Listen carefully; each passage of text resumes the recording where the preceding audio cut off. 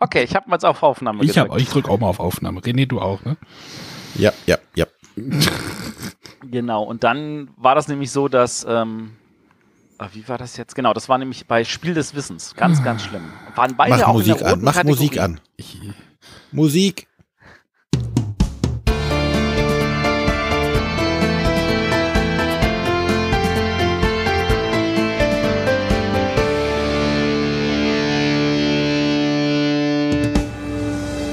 Hallo und herzlich willkommen bei den Bretterwissern. Die Bretterwisser sind der Arne, moin, moin. der Matthias. Morgen, man hat mir den Mund verboten. Ja, endlich Nein, mal. wir haben nur Musik gespielt. Und ich bin der René. Ja, sag ich doch.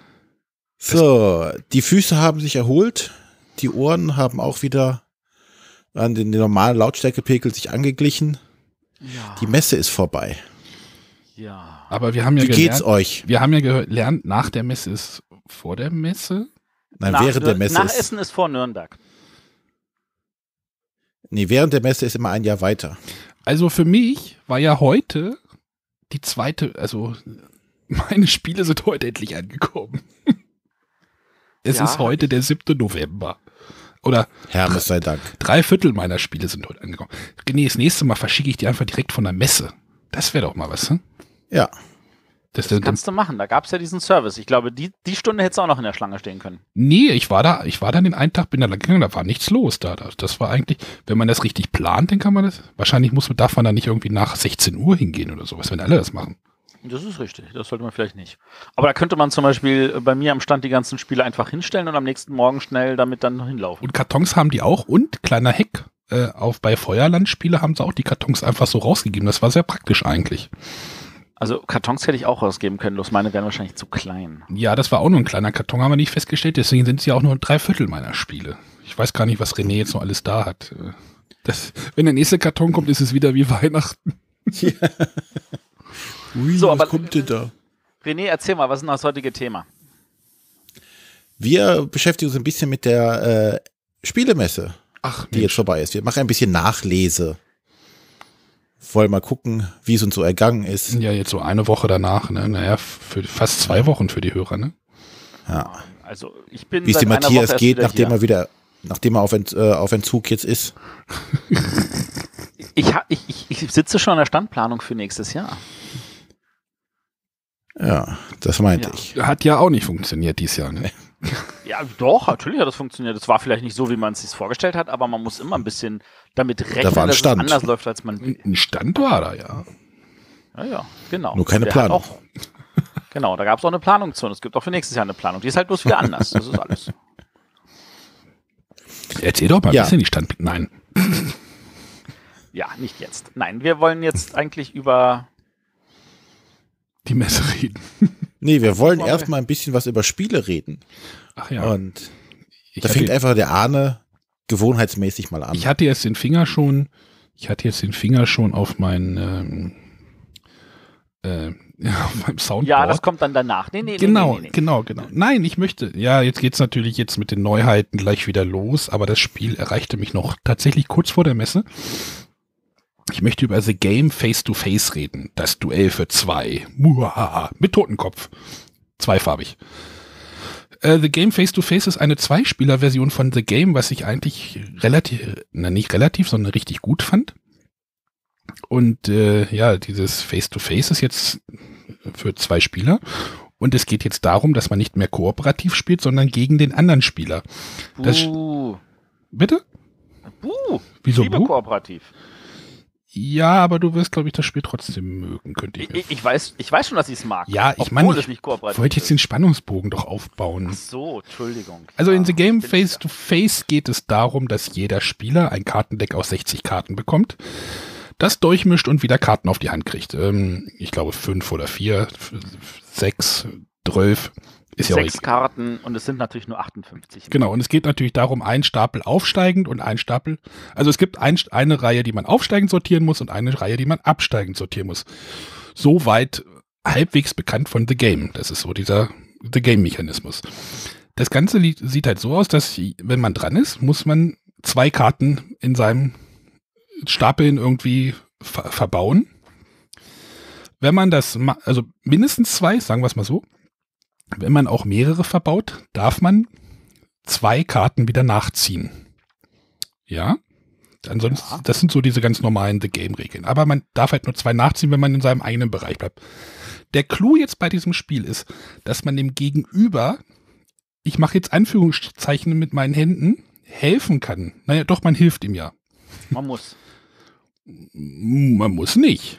Ne, wenn du was bei ihm legen möchtest, dann musst Genau. du ihm helfen. Der Clou ist nämlich, dass man jetzt dem Gegner äh, Karten auch in seine Reihen legen kann, aber entgegen dieser, entgegen seiner Sortierrichtung. Also wenn er in einen Stapel, äh, in einem aufsteigenden Stapel irgendwie jetzt die 20 liegen hat und er müsste halt 20 oder höher reinlegen, darf ich als Gegenspieler unter der, dieser 20 bleiben. Ja, also ich, ich, ich setze seinen Stapel wieder in die andere Richtung für ihn gewollt, also für ihn positive Richtung, nenne ich es jetzt mal so, lege ich ihm eine Karte rein und lege ihm eine 15 rein. Das heißt, sein Kartenstapel wird wieder ein Stückchen zurückgesetzt. Das heißt, Also du kannst beliebig legen. Also wenn er auf seinem Ich muss nach oben Stapel schon 58 hast, kannst du trotzdem eine 3 hinlegen. ja, ja, ja, aber du darfst halt keine 59 in seinem, nach oben Stapel Nein, legen. das ist richtig. du darfst ihn quasi so ein bisschen resetten. Wie, wie weit man das macht, ist halt so eine Strategie, ist halt schon so eine Strategiesache. Das Der ist Clou vor allem toll, wenn, wenn er eine 20 hat und du ihm dann eine 19 hinlegst und er sagt, toll, das hat mir nichts gebracht. ja, aber dir bringt es nämlich was, wenn, weil, wenn du dem, dem Gegner hilfst, darfst du wieder auf sechs Handkarten aufziehen. Das heißt, du kommst schneller durch deinen Stapel durch und hast wieder mehr Möglichkeiten auf der Hand. Und das, Ja. das ist so dieser ganze Clou. Und das ist so dieses, was mich total reizt an diesem Spiel, dieses, okay, was lege ich ihm jetzt rein? Helfe ich ihm damit oder helfe ich ihm nur ein bisschen und helfe er mir damit? Oder manchmal ist es auch so, dass du genau die richtigen Karten gerade auf der Hand hast, um einen Rückwärtssprung quasi zu machen, also von der 20 auf die 10 runter wieder. Und wenn, wenn den, dein Gegner dir irgendwie eine, eine 19 da reinlegt, dann funktioniert dieser Sprung nicht, weil die Zahl dann einfach weg ist. Und solche Sachen, das ist, das ist total nervenaufreibend und spannend und überträgt dieses The Game Feeling sehr gut, sehr, sehr gut in dieses Zweierspiel. Ich war am Anfang sehr skeptisch. Ich halt dachte, oh, du, was soll ich, was soll denn das? Also ich mag, manchmal finde ich halt dieses, dieses, oh, wir müssen unbedingt eine Zweierversion machen von dem, von, von einem größeren Spiel, bin ich manchmal ein bisschen skeptisch. Also dieses Bonanza-Duell, da bin ich nicht so warm geworden mit, auch wenn Matthias mich jetzt gleich wieder steinigt, aber Nee, ich steinige dich nicht. Das ist vielleicht nicht für jeden was, aber ich finde, das war tatsächlich ein richtig gutes Zweierspiel. Ja, aber The Game äh, halte ich im Moment für ein für eins der wirklich guten, ich will jetzt nicht sagen grandiosen, dafür habe ich es noch nicht genug gespielt, aber ähm, wirklich ein, ein sehr, sehr gelungenes Zweier, Zweierspiel von einem Spiel, wo man es eigentlich gar nicht erwartet hätte, dass sowas überhaupt funktionieren kann. Ja, da bin ich bei dir. Weil sie- man das so, ja, The Game, oh ja, das ist ja kooperativ und jetzt gegeneinander und ich habe auch mit Matthias im Vorgespräch gesagt, dieses, dieses, diese Sprache, dieses Absprechen, das fällt halt weg. Ähm, Das ist, das, dadurch wirkt Dieses- es irgendwie ganz anders, aber das funktioniert halt. ja, genau, es funktioniert, es funktioniert sehr gut und äh, ja, ich bin froh, dass es das Spiel gibt. Also wer The Game gerne mal im Zweier, in einer Zweier-Version spielen soll, die ein bisschen anders ist, aber auch wirklich sehr gelungen und dieses Feeling auch wirklich rüberbringt, The Game Face to Face, ganz großer Daumen hoch. Also wir sollten natürlich nochmal festhalten, dass The Game grundsätzlich auch schon vorher zu zweit funktioniert hat, aber das ist halt jetzt kein kooperatives zu zweit, sondern halt ein Gegeneinander und das ist wirklich, wirklich gelungen. Ja, der Nico fragt gerade, ob man sich einfach nur die ganze Zeit anschweigt. Ähm, Nein, ja, das ist halt einfach ein normales kompetitives Spiel, Zweierspiel. Das also ist es schon. tatsächlich so, also man darf halt ganz regulär reden. Äh, man darf halt, also ich glaube, es steht noch nicht mal drin, dass man seine Hand nicht sagen darf. Man könnte auch sagen, was man auf der Hand hat. Ähm, aber will man eigentlich nicht, weil das den anderen ja auch helfen könnte. Und äh, es ist tatsächlich so, dass äh, man halt also dann auch ein bisschen Trash-Talken am Tisch hat. So, hehe, guck mal, ich kann dir helfen, ich gehe nur einen, einen Punkt oder so. Oder der andere sagt, ach scheiße, jetzt hast du mir zwar geholfen, aber ich kann den Zehnersprung nicht machen, ich kann die Karten nicht loswerden. Das ist alles ja, aber das schlimm. machst du ja bei einem normalen Spiel auch. Also bei, wenn du Genau, Seven Wonders also- Duell spielst, ist das ja auch genau das Gleiche. So ist es. Also das ist jetzt nicht so, dass dadurch irgendwie ähm, irgendwelche Sonderkommunikationsgeschichten oder so wären. Nein, Aber das ist es funktioniert halt nicht. Genau. Also, Also, für mich derzeit tatsächlich die beste The Game-Version. ja, da würde ich dir sogar zustimmen. Also wer mit The Game und diesem ganzen Sprech, mit diesem The Game Sprech, von wegen, oh, jetzt habe ich eine sehr gute Karte und jetzt habe ich noch eine viel bessere Karte und wer das nicht so mag und mochte, der sollte sich diese Zweier-Version unbedingt mal angucken, weil das halt wegfällt. Ja. Ähm, das war The Game Face to Face von Steffen Bendorf und Reinhard Staupe. Äh, erschien beim NSV, also Nürnberger Spielkartenverlag, die ja, glaube ich, auch gelernt haben, äh, ihre Serien zu pflegen. Also die machen ja mit Quicks auch weiter immer irgendwas Neues. Definitiv. Also das machen sie ganz grandios. Genau. Also Daumen hoch von mir.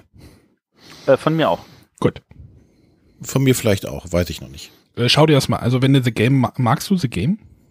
Ja. Spielst du gerne Zweierspiele? Also ich könnte mir auch vorstellen, dass deiner Frau das gefällt. Bestimmt. Äh, ich werde ausprobieren. Bis, probier das mal aus, bitte. Ich meine, wir reden hier von einem kleinen Kartenspiel, was äh, 5 bis 8 Euro kostet. Das ist eigentlich lächerlich geil. Lächerlich geil. Bluff analysieren. Ja, aber, Gut. aber es hat natürlich das gleiche, dieses umstrittene Artwork immer noch, aber ja. So what? Ja, ja, gut, das So what. Ich glaube, daran haben wir uns inzwischen gewöhnt, da sind wir raus. Die Schweizer Version besorgen, die es dann irgendwann vielleicht gibt oder sowas. Oder auch nicht. Mit Schoki drauf. Mit Schoki drauf, genau. Weiße und schwarze Schokolade betteln um genau. die Sortierung im Regal. Ach, bring mich nicht auf Ideen. Gut, dann mache ich mal weiter. Ähm, ich mache es auch diesmal etwas kürzer, denn ähm, so ein richtiges Spiel zum Vorstellen habe ich heute gar nicht. Ich werde aber ein bisschen über die Sachen ganz kurz einen Ersteindruck geben, über die ich, äh, äh die ich gespielt habe bis jetzt vor den neuen Sachen. Ähm, und ohne jetzt groß was zu erzählen, was ich noch erwähnen möchte, Pandemie Legacy Season 2 spielen. Dringend. Ich hab's jetzt Alle. ja hier. Ich hab's jetzt ja hier. Ich äh, habe mir auch schon fast eine halbe Gruppe aufgemacht heute. Oh, oh, wie weit bist du denn? Wir sind in den März gekommen. Ah, dann kommt ja noch das ganze Geizzeug.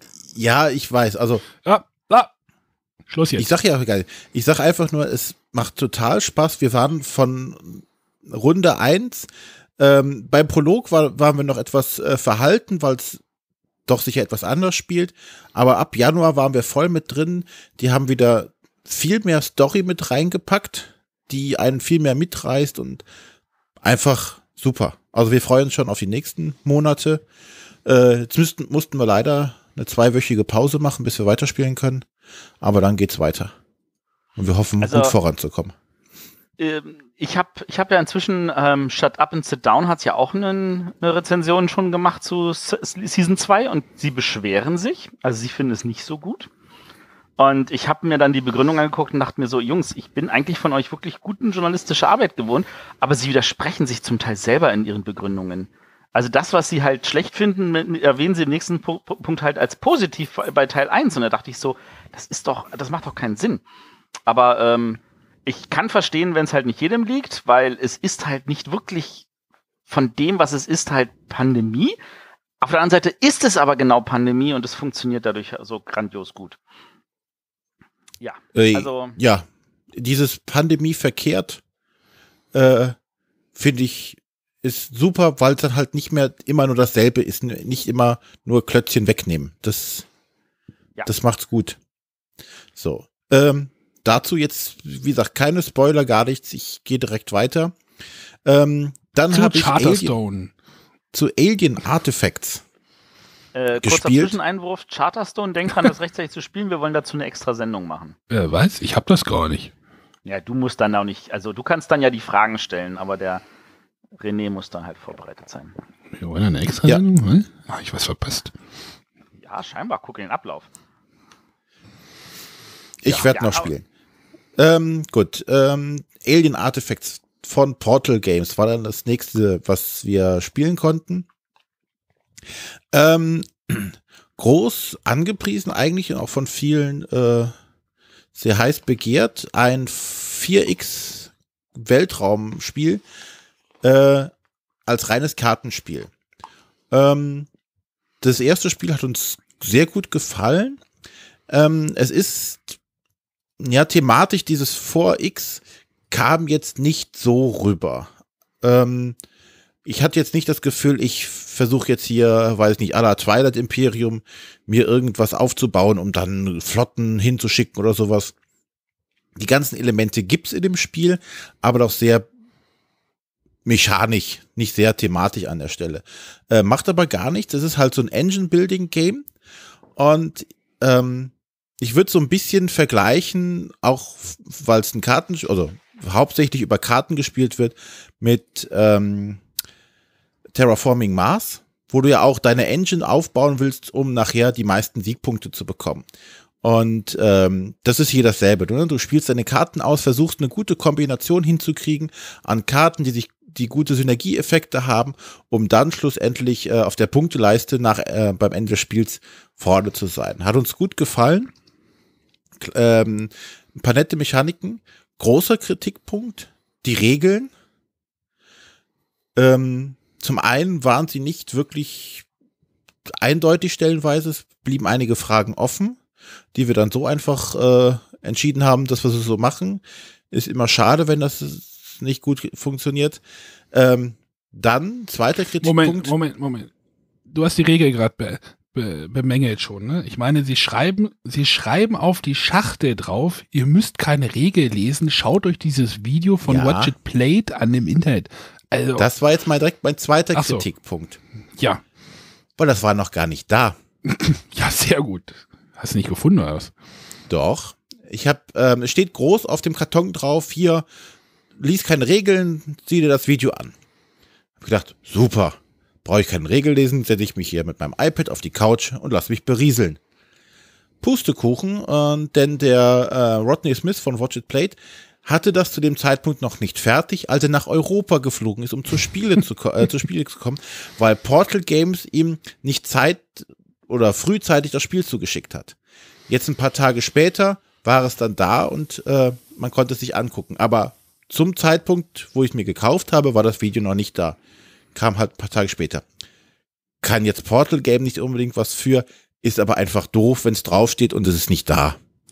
Ja, da kann ich jetzt natürlich aus meiner Erfahrung sagen, man muss halt alles vorplanen und die meiste Zeit, wo das Produkt draußen ist, ist das Video. halt.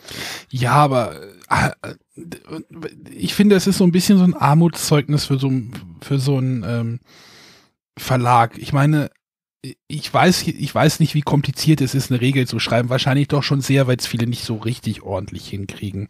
Aber du kannst doch nicht als Verlag sagen, hey, wir machen, unsere Regel ist vielleicht ein bisschen strange. Guck nee, nee, das, das schreiben sie ja nicht drauf. Ja, sie sagen ja nicht, ja. unsere Regel ist scheiße, guck dir das Video an, ja, sondern das, wir helfen dir.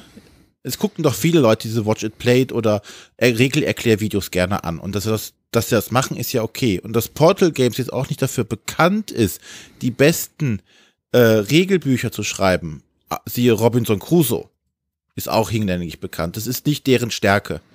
Sollten sie dran arbeiten, aber sie haben jetzt nicht draufgeschrieben, unsere Regeln sind scheiße, guck dir das Video an.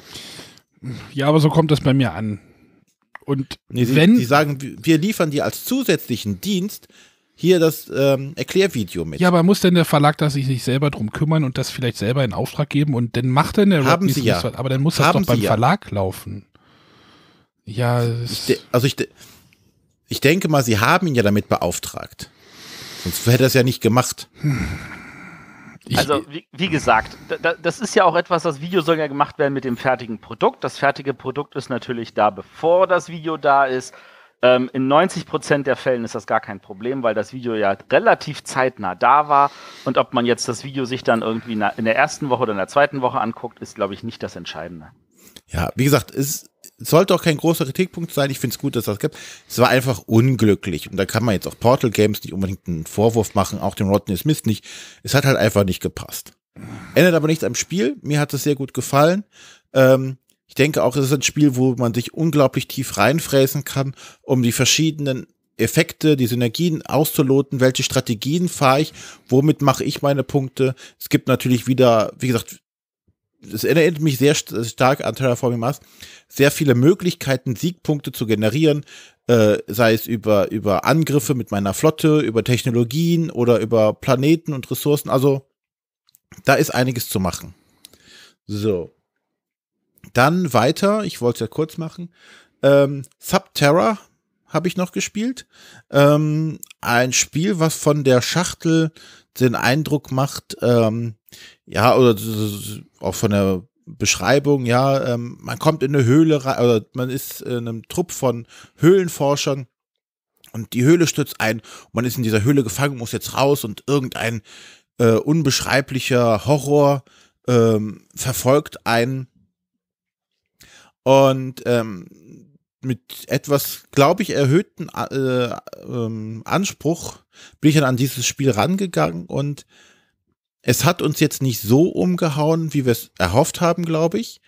Ähm, es ist so eine Mischung, ja, ich sag's, also ohne das jetzt negativ zu meinen, so ein bisschen ähm, Forbidden Island und Carcassonne. Du startest also in einer Höhle und legst viereckige Plättchen aus und okay. hast halt ein Team von Forschern, die je, wo jeder eine Spezialfähigkeit hat. Du musst du von Plättchen zu Plättchen die Höhle erforschen und ganz am Ende kommt halt ein Plättchen, äh, das du erreichen musst, dass der Ausgang ist und bis dahin musst du überlebt haben. Äh, äh, Escape, das war so ein Würfelspiel. ja, Escape könnte man, genau, man könnte auch noch, genau, streiche Carcassonne, ersetze Escape. Okay.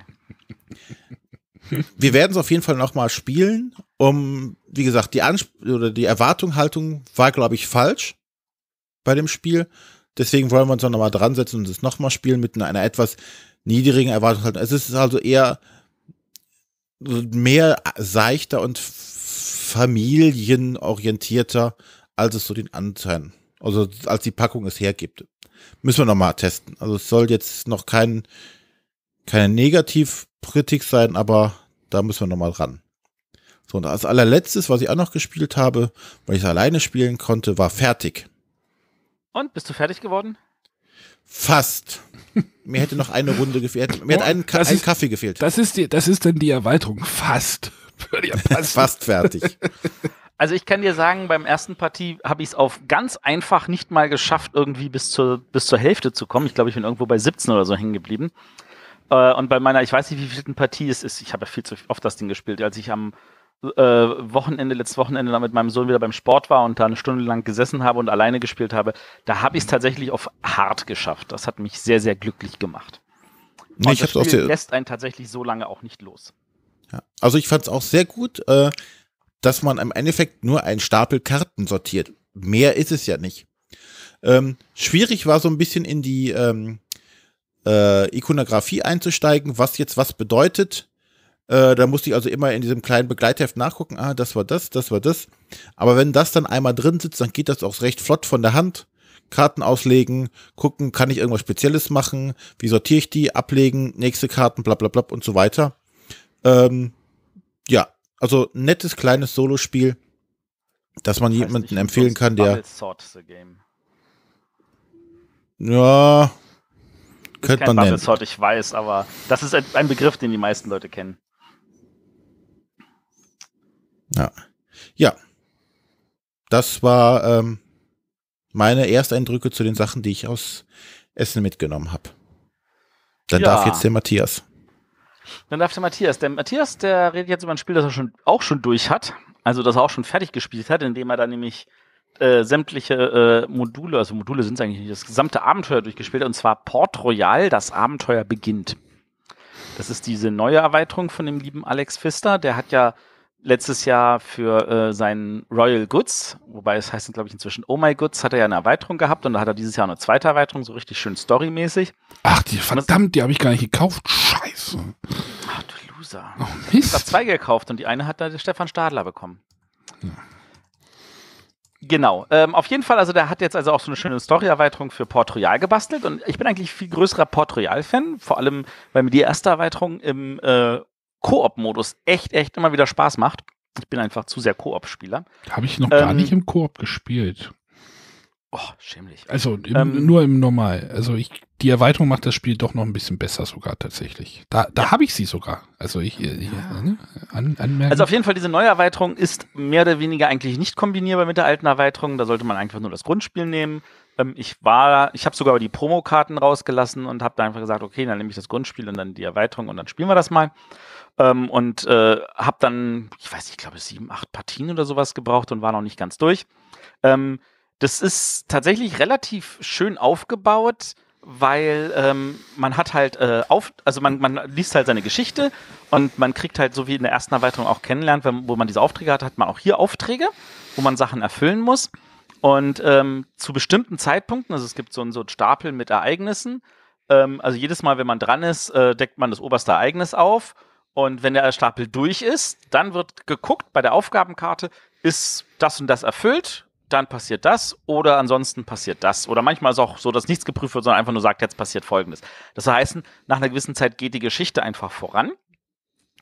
Und ähm, wenn, äh, wenn man bestimmte Sachen erfüllt hat, dann geht die Geschichte in die eine Richtung oder in die andere Richtung. An sich ist die Geschichte relativ ähm, von alleine laufend, aber wenn man bestimmte Sachen erfüllt hat, dann sind spätere Aufgaben leichter.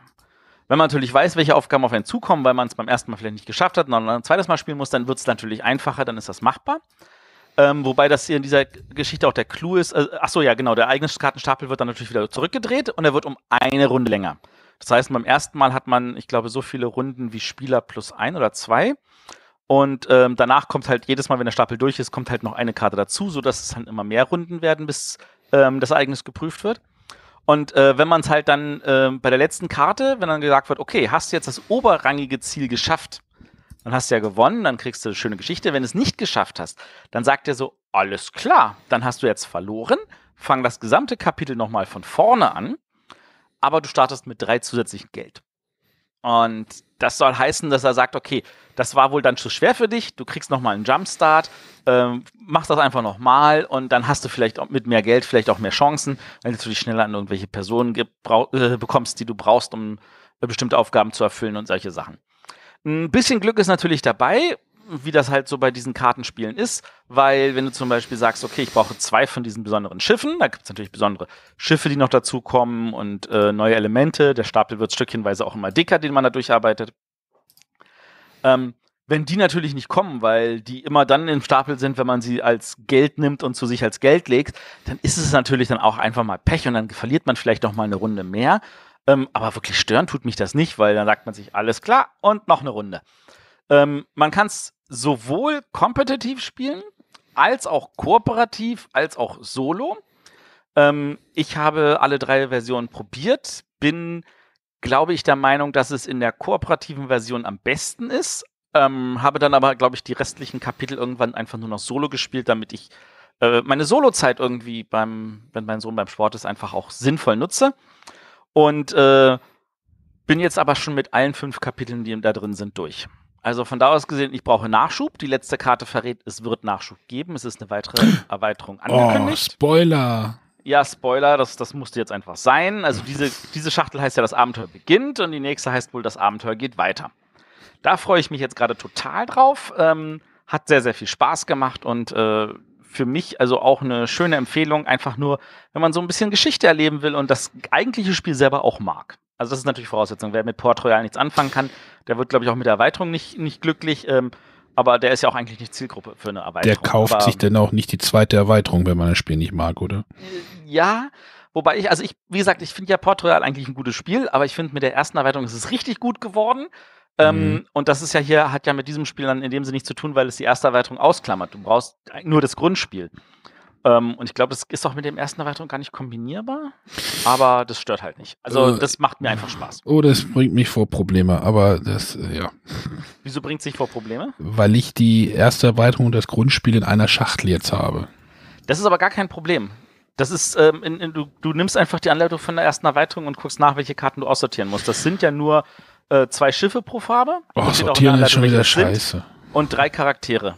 Einmal vier, einmal fünf, einmal fünf Karten. Das sind 18 Karten plus die zehn Schiffe. Und dann hast du das Grundspiel wieder alleine. Das hast ist gar die, kein Problem. Hast du die englische Version davon mal gesehen? Von dem Port Royal?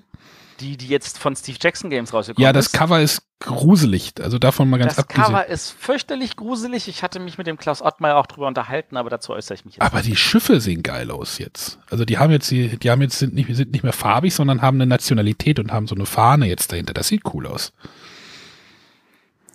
Okay. Was findest du nicht gut? Oder? Ja, ich finde das Port Royal, so wie es im Deutschen ist, finde ich, ist es einfach ein gesamter rundischer, äh, runder grafischer Guss. Ja, das Cover geht gar nicht. Da, da das Cover geht halt im Englischen, im Amerikanischen finde ich geht gar nicht. Und das ist, das ist. ähm, da, das, das, das beißt ja auch mit dem Rest der Illustration halt in dem Spiel. Ja, Aber to total. Das, Das das, hat halt irgendjemand so entschieden und das ist jetzt halt so und dann ist das so und dann müssen wir damit leben. Aber die Schiffe sehen trotzdem, also die Schiffe, die Schiffsgrafik ist die gleiche, nur die Farbe ist der Fahne oder was oben ist, ist halt jetzt anders und da ist jetzt irgendwie Spanien, Holland und sowas als Fahne hintergelegt. Das fand ich irgendwie ganz nett. Ja. Gut, ähm, gibt's noch was zu erzählen zu der Portrait? Ja, ja, klar, jeder hat natürlich jetzt auch einen Charakter. Wenn wir schon eine Story haben, hat auch jeder einen Charakter und die sind natürlich auch tatsächlich asymmetrisch. Also jeder Charakter hat einen eigenen anderen Bonus. Äh, man sammelt Kronen, aber das sind jetzt alles Details, die, glaube ich, dem Spiel jetzt nicht so bringen. Also an sich geht's darum, man erlebt eine tolle Geschichte und das macht mir total viel Spaß. Von da aus gesehen jetzt nochmal kurz den Waschzettel. Wir reden von Port Royal Erweiterung, das Abenteuer beginnt. Mit von dem lieben Autoren Alexander Pfister. Daumen hoch für den Herrn. Äh, schön illustriert von meinem geliebten Clemens Franz. Ähm, und realisiert von dem lieben Klaus Ottmeier, erschienen bei Pegasus. Ja. Gut, ich glaube, wir sind mit der Spielevorstellung durch. Ja. Das waren wahrscheinlich wieder mehr als fünf Minuten, die ich geredet habe. Ja, wahrscheinlich. Gut, dann kommen wir jetzt zur Frage der Woche. Mann, ich drück, Matthias. ich bin schon wieder in meinem Soundboard. Mann. Wir kommen noch gar nicht so. Stimmt, wir sind noch nicht bei der Frage der Woche, wir sind erst beim Rückblick, dachte ich. Ja, ist egal, warum wir es machen. Ja. Mach mal die Frage der Woche. Machen wir die Frage der Woche, okay. Wer macht das? Muss, ach, ich muss die jetzt machen. Du hast die rausgekramt, aber ich. Ich habe die rausgekramt, aber also ich kann ja noch mal kurz zur Frage der Woche sagen, an dieser Stelle, liebe Hörer, ihr wolltet uns doch Audiodateien schicken mit Fragen, damit wir nicht immer nur Texte vorlesen müssen. An der Stelle also nochmal der Aufruf, schickt uns Audiodateien, wir würden uns total darüber freuen. Und jetzt darf der Arne die Frage vorlesen. Genau. Der Marc hat uns, ich glaube, während der Messe war das, äh, übrigens lustiger Fun Fact, äh, Just 8, ne, René? Just 8? Just State? Ach, Just 8? Ach so. Just State? Ich, ich, Just, also klingt wie Justiziar. ich würde mir, ja, ich würde, oder er kommt, er kommt auch von der Insel Houston und hat dort die Hausnummer 8 oder sowas. ja. Gut, äh, er hat geschrieben, ist einer von euch bei der Pegasus Game Night äh, gewesen, wahrscheinlich, äh, jetzt ja. Äh, es wurde zwar im Bericht von Matthias darüber gesprochen, mir wurde aber nicht klar, ob die Bretterwisser auch teilnehmen. Nein, wir haben nicht teilgenommen, weil wir zu tun hatten, abends, öfter leider. mal. Ähm, und äh, ja, sollen wir dazu Also- noch äh, irgendwas? Also ich kann, ich kann leider nicht beurteilen, ähm, wie das tatsächlich im Einzelnen war. Ich habe, es gab Leute, die haben halt was Positives berichtet, es gab Leute, die haben halt was Negatives berichtet. Ähm, ich glaube, wir hatten in einer unserer äh, Messefolgen, ich glaube in dem letzten Tagesrückblick hatten, wir, hatten wir kurz darüber geredet. Ähm, ich weiß halt nur, dass ähm, es tatsächlich ausgebucht war.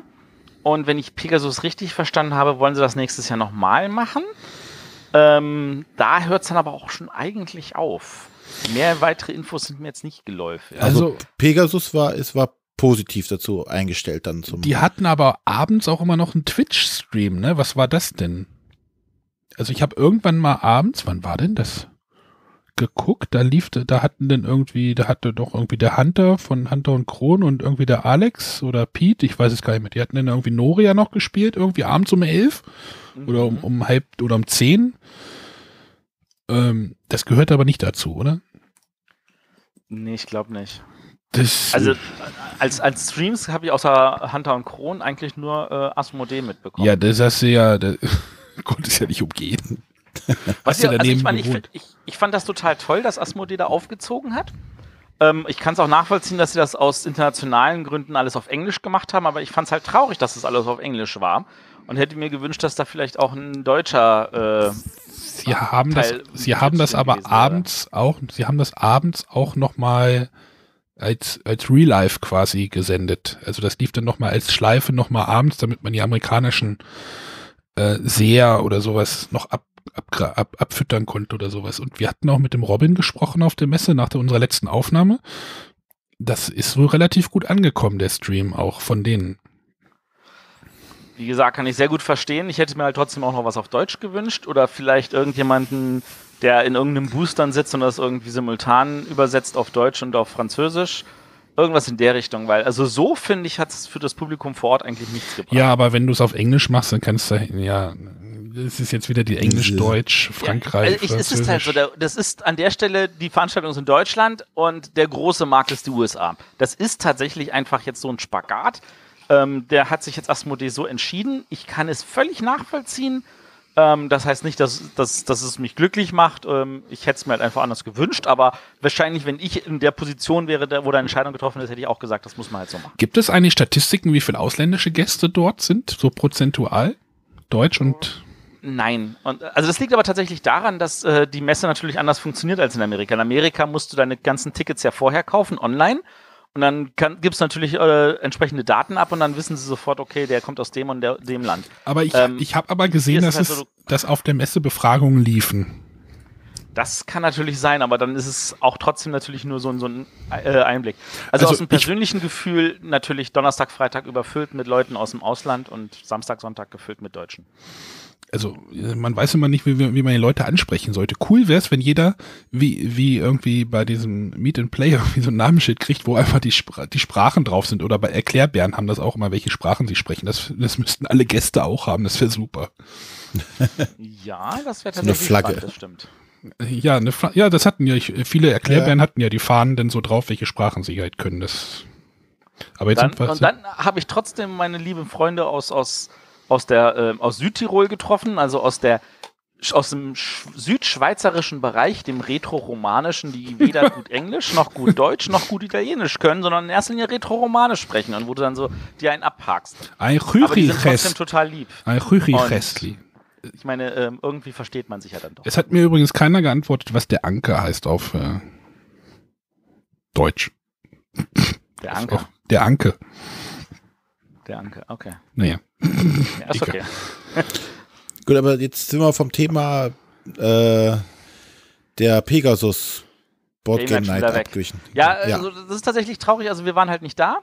Ähm, wir wären wahrscheinlich trotzdem gerne da gewesen, oder? Also irgendwie müsste man mal gucken, dass man sich abends irgendwie vielleicht tatsächlich dupliziert und bei zwei Sachen gleichzeitig ist. Also, weil das ist ja nun wirklich, die Abende sind. Genug Masse hätten wir dafür, oder? Matthias, wir sind. Wir sind aber auch drei Leute, man könnte sich halt gegebenenfalls auch aufteilen. Das sollte du meinst, nicht das nächstes Jahr Freitag geht einer zum Juryabend, einer geht zum Heavy Cardboard Abend und einer geht zum French Party Abend. Und samstags geht dann einer zum Blogger-Treffen und einer geht dann zum Pegasus ähm, äh, Distributorentreffen und einer geht dann noch ja, ja. hin und es ist tatsächlich einfach nur zu viel. Und da ist einfach leider, leider, leider sind, können wir nicht überall sein, das wären wir total gerne. Ja. Ja, aber, aber ich, ich, würde mich halt freuen, wenn diese Sache nicht, nicht so, das hatten wir auch in der Sendung gesagt, ähm, wenn das nicht so an dieser Mess, an der Veranstaltung Friedhelm Merz Verlag so vorbei äh, äh, hintenrum gemacht wird, sondern dass da irgendwie der Verlag mit äh, der, ja doch ist ein Verlag, der Verlag da auch irgendwie mit dem im Boot ist und das nicht irgendwie so hintenrum nur mit der Messe und mh, hm. ja, und es wirkt Aber, aufgrund ja. des Preises, finde ich, also ein bisschen exklusiv.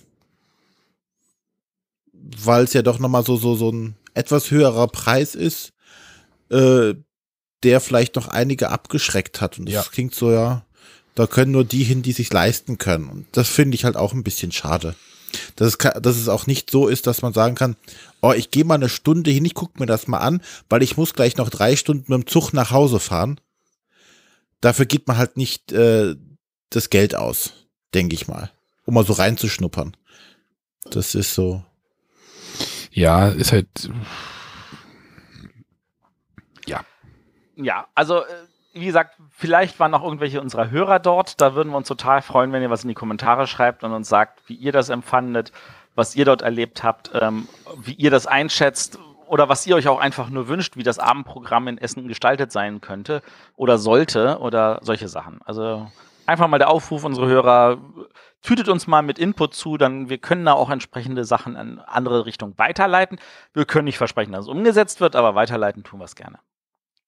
Ja, aber trotzdem. Aber äh, also man kann sich jetzt auf jeden Fall nicht beschweren, dass man es halt nicht versucht. Nur irgendjemand versucht es jetzt und das sollte man halt auch positiv äh, beäugen. Äh, nicht beäugen, äh, bewerten. Ne? Es ist ja, sonst immer, oh, wenn mal, wenn mal die Messe nachts aufhaben würde, dann würde ich da die ganze Nacht spielen. Ja, jetzt ist sie halt mal offen gewesen und äh, es wird auch wieder nur drüber geredet. So, das ist jetzt, jetzt tut jemand was. Das ist doch eigentlich positiv. Das ist ja. grundsätzlich positiv. Aber da, das ist natürlich die perfekte Überleitung. Und wenn wir von Pegasus reden, kommen wir gleich zu unserem Rückblick, oder? Ja, wir wollen ja wieder zurückblicken auf unsere Folge 3. Und äh, in Folge 3 waren wir noch beim Kennenlernen so ein bisschen. Ich spiele da mal was ein. Ich notiere, René braucht Thema. Genau. Ja. Wahrscheinlich hat er sich deswegen auch von DDD angesprochen gefühlt. Ja, Genau. wahrscheinlich. Äh, René braucht Thema, ne? Das hat Also kurzer, kurzer Hinweis für unsere Hörer, die das jetzt hören. DDD war Dark. Darker Das kommt gleich noch. Kommt gleich noch. Achso. Kommt gleich noch was. René, brauchst du Thema? Immer. Stimmst du dem noch zu? Ich stimme dir voll ganz zu. Ich weiß noch nicht, wer derjenige war, der da in der, der Blechbüchse gesessen hat beim Sprechen, aber ich stimme ihm zu. Ja. Ja, aber, aber ich meine, die Frage ist natürlich, was, was gilt als Thema? Aber dazu hatten wir natürlich auch irgendwann mal eine Sendung, von da aus gesehen. Aber, ja, es war auch ganz frisch noch. Ähm, wir haben gerade unsere E-Mail-Adresse bekommen. Moment. Auch per E-Mail sind wir jetzt erreichbar unter info@bretterwisser.de. Oh, das wusste ich ja noch gar nicht. Ja, eine Neuerung. Cool. Info at bretterwisser.de muss ich mir gleich mal merken. Ja, merkt ihr mal, info@bretterwisser.de. Äh, wie war jetzt die E-Mail-Adresse nochmal? oh, das habe ich schon wieder vergessen, Mann. Dafür habe ich einen Arne, der kann mir das sagen. Ich weiß nicht, ob da jetzt dieser Gag entstanden ist. Ich glaube ja. Aber ab, apropos apropos E-Mail-Adresse, sind die T-Shirts jetzt alle schon raus? Müssen noch irgendwelche Hörer welche kriegen? Ja, die müssten noch verschickt werden. Ja, also wir haben, also nicht alle Hörer haben das abgeholt vor Ort. Ähm, an der Stelle alle Hörer die Meinung sind, aber ich müsste doch auch eins kriegen und keins bekommen haben, vielleicht kurz beim René melden, damit er euch das zügig zuschicken kann. aber ich müsste doch Genau. auch eins. Ach nee, das Zelt ist ja hier gelandet. Dein Zelt ist da, das ist tatsächlich zu groß, ja. Du hast es gar nicht gesehen, oder? Doch. Ach so, doch, stimmt. Die waren ja bei. Damit hättest du doch eigentlich nach Hause fliegen können, oder? Wäre schneller Zu- gewesen als die Bahn. Äh, da, da- darüber reden wir gleich noch. Moment. Wie so ein Zeppelin. Wir wir sind noch im Rüber. Wir sind noch im Rückblick, genau. Genau, weil wir hatten nämlich, ich hatte nämlich auch was äh, gesagt zum Thema, was man mal irgendwann machen sollte. Moment. Jetzt sollten wir irgendwann auch mal eine, nur, eine, nur eine Spielefolge machen, wenn wir keine Themen mehr haben.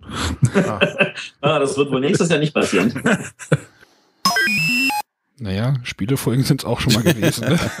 Sind es auch gewesen, aber das war tatsächlich nicht, weil wir keine Themen mehr haben, weil Themen haben wir tatsächlich noch relativ viele, nee, sondern manchmal, weil äh, die Themen nicht immer in dem Moment sendbar sind, wenn sie, wenn wir gerade die Zeit dafür haben, was zu senden, sondern weil ähm, aus verschiedenen Gründen manchmal das halt in bestimmte Zeitrahmen fällt oder die Gäste irgendwie dann keine Zeit haben, solche Sachen und ähm, ich denke, also aber vom Feedback her kann man sagen, diese reinen Spielevorstellungsfolgen sind jetzt auch nicht wirklich schlecht angekommen. nee, die laufen sehr gut. Und äh, ja, lockert das Ganze auch nochmal so ein bisschen auf. Aber wir haben auch noch Spiele vorgestellt. Möchtet ihr Okay. da auch noch was zu hören, was wir da so gesagt haben in der Folge Ja, erzähl 3? mal. Mach mal. Würdest du jetzt einen Daumen hoch oder Daumen runter für das Spiel geben? Jetzt sind wir ja wieder bei der Wertungsgeschichte. Äh, Daumen hoch, ja. Ich denke mal, so eine kleine Wertung sollten wir hier schon abgeben Ja, dürfen. also Daumen hoch, ja, auf jeden Fall. Also mindestens einen. Mehr gibt's auch nicht. Okay, dann gibt es einen, einen Daumen hoch. Ach so, das war übrigens, es ging um die Glasstraße. Das wusste ich nicht, dass das nicht erwähnt wird. Oh, Äh, Glasstraße, sehr gutes Spiel. Äh, ich bin mir nicht sicher, ob das bei mir dauerhaft. äh, Ich hab's nicht mehr mittlerweile. Ich hab's noch, aber ich glaube, ich hab's auch schon seit zwei, drei Jahren nicht mehr gespielt. Ja, ist irgendwie so ein bisschen vergessen worden. Kann das sein? Das, also in meinen Augen ist das Glasstraßenspiel heutzutage, wo ich sage, das ist ein perfektes Zwei-Personen-Spiel. Und alle anderen Spielerzahlen kannst du vergessen. Also gut, ich habe es nie solo gespielt. Das, da gibt es wohl auch noch eine Solo-Version. Aber als Zweierspiel definitiv viel besser, als, als wenn man es zu dritt oder viert spielt. Inwieweit ist denn dieses Nussfjord so ein bisschen mit Glasstraße verwandt? Ist das Glasstraße ohne Rondell? Ich habe Nussfjord noch nicht gespielt. Ach so. Weil das, da sehe ich auch so ein Tableau, dass man aus mehr freiräumen muss oder so. Ich, ich weiß es nicht. Müsste mich nochmal drum bemühen.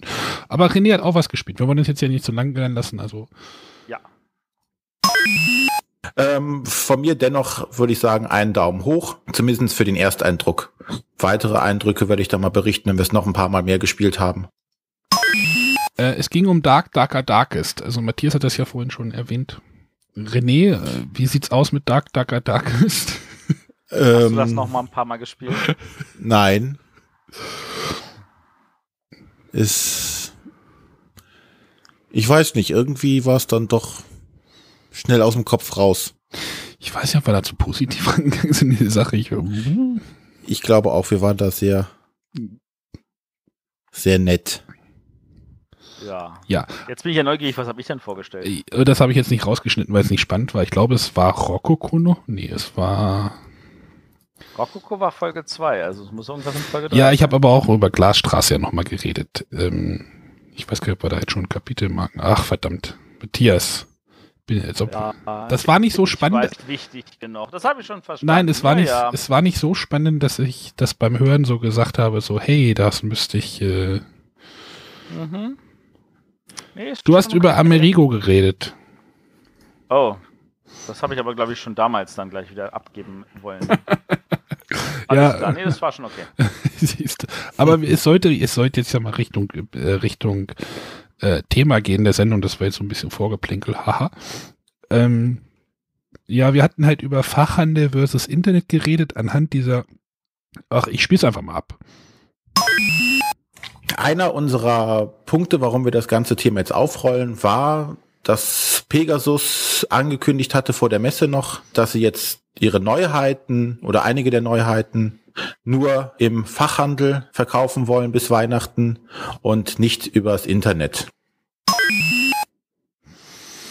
Ja, da haben wir uns lange drüber, drüber äh, aufgehalten. Ich habe das Fazit auch gleich nochmal ein bisschen rausgekramt. Möchtet ihr das gleich hören und dann unterhalten wir uns nochmal darüber oder wie seht ihr das? Ja. Ja, mach das mal. Also, Ja, vielleicht, vielleicht ist ja diese ganze Aktion wirklich gut, dass, dass Spiele nochmal wieder mehr in den Fokus rücken und nicht nur irgendwie Siedler irgendwie bekannt ist und äh, das war's dann. Also Ja, die Bekanntheit ist ja grundsätzlich ein großes Problem.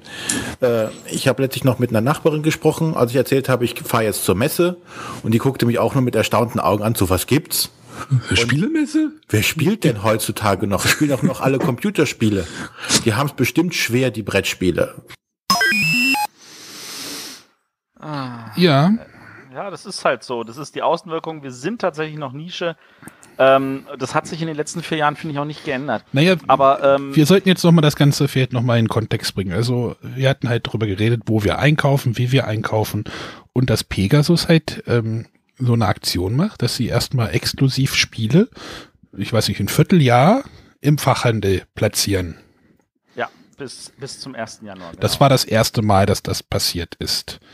Ähm, Gibt es diese Aktion immer noch? Ja. Istanbul, das Würfelspiel, ist ein Problem, oder nee, nicht Problem, oder? Ist das da drinne? Ich glaube ja. Ich bin mir nicht sicher, aber ich glaube ja. Ich glaube nämlich, ich wollte es kaufen bei einem bekannten, ähm, ja. Und dann hatten die das nicht, bin ich in eine Spieleburg gefahren, dort standen noch Kat äh, türmeweise die Spiele rum. ich bin zum Chef gegangen, habe gesagt, ich hätte gerne Istanbul das Würfelspiel. Er meinte, ja, das habe ich irgendwo gesehen, hilf mir mal mit beim Suchen. äh, und ja, dann habe ich die Messe. dann habe ich es dort gekauft. Also dort gab es das, also bei Amazon gibt es das gerade nicht. Also diese Aktion scheint es immer noch irgendwie zu geben. Ja, ja, gibt es, definitiv.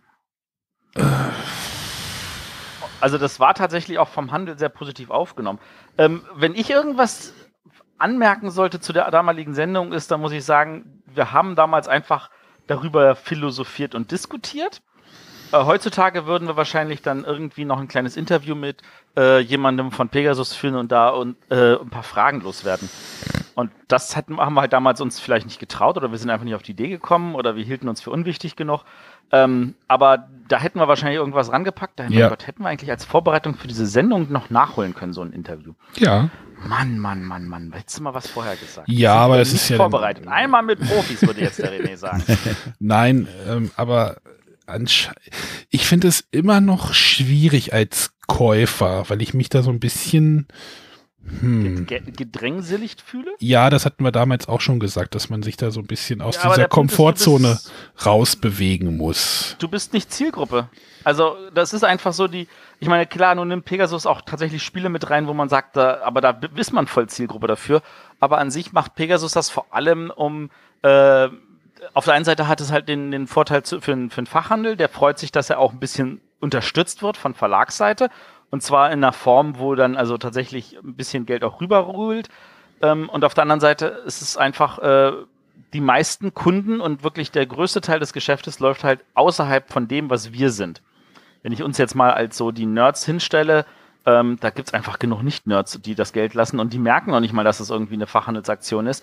Und ähm, die paar wenigen, die dann das auch merken und sagen, ja, ist mir egal, wo, dann gehe ich halt in den Handel, ähm, die sind dann nochmal so der, oh, das Plus obendrauf und der Handel muss nicht sinnlos irgendwelche äh, versteckten äh, Preiskämpfe machen oder sowas. Das ist, also ich finde das schon. Ich kann das alles nachvollziehen. Ich finde es immer noch schwierig. Das habe ich Ja. damals auch schon gesagt. René? Ich sehe das jetzt gar nicht mehr so dramatisch eigentlich. Also ich finde es voll okay. Also das, zum einen muss das jeder selbst entscheiden können, also der, der Verlag, ob er das so machen möchte oder nicht. Und äh, ja, gehst halt mal wieder in den Laden, wenn du es unbedingt haben willst. Es ist ja nicht so, als würde es das nicht geben. Ja, aber nicht jeder hat einen Laden. Das ist das Problem. Ja, aber ich sag mal so, das Problem liegt einfach in, natürlich in dieser äh, Gesellschaft, die sagt so, ich brauche es jetzt und ich brauche es sofort, so ein bisschen so auf äh, Queen gemünzt so, I want it now, I want it, aber ähm, das ist in der Theorie, dann kauft man sich da das Spiel halt ein halbes Jahr später, also oder drei Monate später. Dann ist das auch kein Problem. Im Dann Chat wird das auch gerade kritisch gesehen. Dort wird auch gesagt, äh, dass man manchmal halt keine Läden vor Ort hat oder die Läden nicht kompetent sind oder oder oder oder. Dazu muss man aber sagen, dass Pegasus tatsächlich inzwischen das ein bisschen aufgebröselt hat. Ähm, es gibt halt welche, die nur verhandelt sind. Es gibt welche, die sind online-exclusive. Es gibt welche, die sind Fachhandel online-exclusive. Also die kann man dann auch online kaufen, aber nicht bei jedem Online-Händler, sondern auch in dem Fachhandel. Oh, das ist ja dann schon wieder kompliziert. Das versteht doch schon wieder keiner. Das versteht keiner. Das ist auch nicht wirklich perfekt kommuniziert, aber das gibt es. Ja, ich denke, das ist okay und äh, der Hype nach dem Neuen, da muss man sich halt mal entweder bremsen Oder, Oder zur, sich aus seiner zur Messe fahren, wo man ohne Ende Spiele kaufen kann und was die Leute auch getan haben. oder aus seiner Komfortzone Ma- rausbewegen. Meinst du, das war jetzt, das klang jetzt gerade fast wie eine Überleitung, oder? Ja, ja, ja, ja. Das war eine Überleitung. Lass uns weitermachen. Genau. Äh, Zur Messe. Die, ja, wie gesagt, die Messe liegt jetzt ja schon ein bisschen zurück. Äh, Soll ich noch mal kurz meine Heimreisegeschichte erzählen? Oh Gott, oh Gott, oh Gott, oh Gott. Nein, lass es lieber. Es war auf jeden Fall grausig und es war trotz der Tatsache, dass die Bahn natürlich vorher gesagt hat, dass da irgendein Stellwerk umgestellt wird. Äh, Stellwerk, es gab einen massiven Sturm, das weißt du, ne? Ja, ja, das weiß ich. Aber zusätzlich war ja noch so die Geschichte, dass äh, SNE irgendwie aufgrund Aber das irgendeiner hatte- Stellwerkgeschichte schwer. Nein, Essen also- war nicht Arnes Problem. Genau, mein Problem war, dass ich morgens in den Zug steigen wollte und irgendwie erstmal mal Twitter gelesen habe und irgendwann war bei Bahn äh, irgendein Retweet oder sowas habe ich gekriegt, so, hey, äh, Sturm in Niedersachsen, äh, schaut mal, was da so los ist. Ach, in Berlin auch. Ja, und äh, ich guckte aus dem Fenster und es war ein laues Lüften. Strahlter Sonnenschein. Strahlt. Naja, so ist auf der Bahnseite wurde denn davon abgeraten, seine Reise äh, anzutreten, wenn möglich. Also ich hatte halt über äh, Düsseldorf, Hannover, Göttingen gebucht. Und da fuhr irgendwie nichts. habe ich gedacht, ja, hm, könnte spannend werden. René und Family sind dann abgedüst zur Messe. Ich äh, war dann allein im, im Haus und der Plan war halt, ich gehe dann halt irgendwie eine Stunde später zum Bahnhof und dann ja, und dann dramatisierte sich das irgendwie, nix fuhr mehr, irgendwie man bei bahn.de und überall wussten auch niemand, was da los war. Und dann hab ich gedacht, hm, wer ist denn über Frankfurt? Guckst du mal, was da so los ist. Ja, dann habe ich da geguckt. Ja, alle ICEs, die nach Norden fuhren, wurden in Frankfurt gestoppt. Ähm, ja, ich gedacht, oh, hm, hm, hm. Bleibst du wohl vielleicht noch mal da? Ach, ja, kannst ja mal mit dem Bus fahren, mit dem Fernbus. Ja, die fuhren dann so um 19.30 Uhr ab Düsseldorf. Also das war halt alles morgens und die fuhren dann so abends 19.30 Uhr ab Düsseldorf. Und die wären dann um 3.40 Uhr in Göttingen gewesen mit Umstieg in Frankfurt. Da habe ich gesagt, ach nee, da habe ich keine Lust drauf. Äh, Mitfahrzentrale war auch keine Op also keine Alternative. Ich bin einfach bei René geblieben, habe einfach meine Reise verschoben.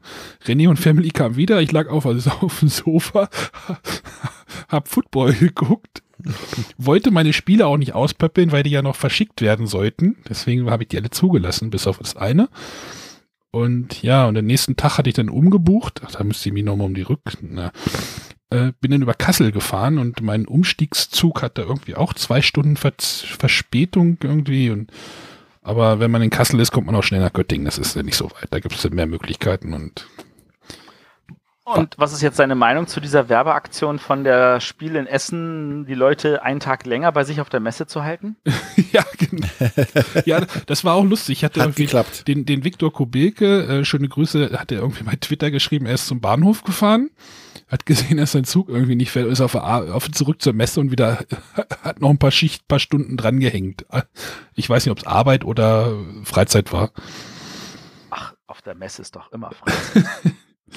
Das war irgendwie alles irgendwie scheiße. Aber da, ja, und wir sind dann auch irgendwie zum Chinesen gegangen mit äh, ne, René und ich und Family und äh, guckten so, ja, blauer strahlender blauer Himmel, es wehte so ein bisschen, aber konnten uns gar nicht vorstellen, dass da irgendwie Ja. irgendwie in Niedersachsen ein bisschen Sturm war. Berlin war nicht besser, kann ich ja sagen. Also, wir hatten ja auch Unwetter hoch drei. Ja, und da, da hat man nichts mitgekriegt. Das fand ich irgendwie sehr kleine Anekdote hier mal. Ne? Naja. Aber freut mich ja, dass du dann trotzdem gesund nach Hause gekommen bist. Ja, hm. So, Aber- jetzt lasst uns endlich über die Messe reden. Ja, Matthias, was ist denn dein Abschlussfazit so jetzt nach mehreren Tagen Messe und jetzt hast du mehrere Tage Zeit, äh, dich zu entwöhnen? Entwöhnen. Er plant Ähm, doch schon 18. Ja, Ähm, ja, jetzt unabhängig davon, dass du wieder was planst. Ich mache jetzt mal einen ganz, ganz schlechten Vergleich. Dafür bin ich ja, glaube ich, bekannt. Ähm, Schnallt euch an, ist- Leute. Also ähm, bei Frauen ist es ja so, dass wenn die schwanger sind, das sind ja fürchterliche Oha. Schmerzen und ganz grausige Erinnerungen und die so ah, fluchen und sagen nie wieder und so. Und äh, relativ schnell nach der Schwangerschaft hat man das dann alles vergessen und freut sich nur an dem Kind. Äh, ungefähr so fühlt sich das jetzt an dieser Stelle an, auch wenn jede Frau sagt, was ist das für ein Scheißvergleich. ähm, aber ähm, ich habe vor Ort auch einfach nur gesagt, boah, ich bin K.O. und ich kann nicht mehr und das ist alles anstrengend und so und ich bin froh, wenn es vorbei ist. Und ähm, jetzt eine Woche später denke ich mir so, boah, war das eine geile Zeit und ich freue mich schon total aufs nächste Jahr und so weiter und so weiter. Was hast du denn effektiv jetzt so mitbekommen überhaupt? Ähm, Außer deinen Stand. Ich war tatsächlich am nach, also ich war ja nur am Donnerstag am Stand festgekettet. Da wäre ich wahrscheinlich eh, hätte ich eh nicht so viel gesehen. Ich war an den anderen Tagen tatsächlich ein bisschen unterwegs, ähm, habe ein paar Meetings gehabt, habe äh, zwischen den Meetings so auf dem Weg immer so mir die Route geplant, so wie ich zu den Meetings laufe und zurück, damit ich an ein paar Stellen was einsammeln kann. Und habe tatsächlich aber nicht so viel von der Messe gesehen, wie ich gern gesehen hätte. Bin trotzdem natürlich auf dem Weg von vielen Leuten angesprochen worden und ähm, oder habe auch selber ein paar Leute angesprochen und ähm, an dieser Stelle nochmal wirklich viele Grüße an jeden, der irgendwie kurz Hallo gesagt hat. Ich habe mich jedes Mal gefreut. Ähm, ja, und dann natürlich klar, Miplix, du hast völlig recht, es äh, waren definitiv zu wenig Tische da. Ich glaube, das war aber ein Problem, das alle Stände haben.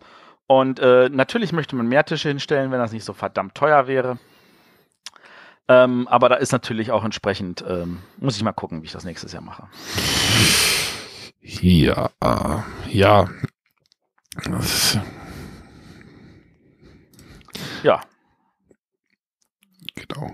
Auf jeden Fall war unsere Aufnahmeecke sehr leise, aber da darüber, also die To- Tonqualität war in Ordnung. Aber ja, da müssen wir noch mal, da werden wir noch mal was äh, zu announcen, äh, announcen, wie heißt das, bekannt geben. ja announcen ist schon das richtige ja, Wort. announcen ist das richtige deutsche Wort dafür. Ja, nicht das Deutsche, aber das Richtige. ja, genau. Also Okay. Ähm, ja, also das war jetzt mein Eindruck. Wie sieht euer Eindruck aus so nach einer Woche? Ja, was ich sehr positiv fand, äh, war, dass ja dieses Mal zum ersten Mal die Verlagsvertreter zu uns gekommen sind. Und äh, das wir war nicht zu irgendwie ihnen. Das, merkwürdig. Ich fand das war mal eine ganz andere Situation.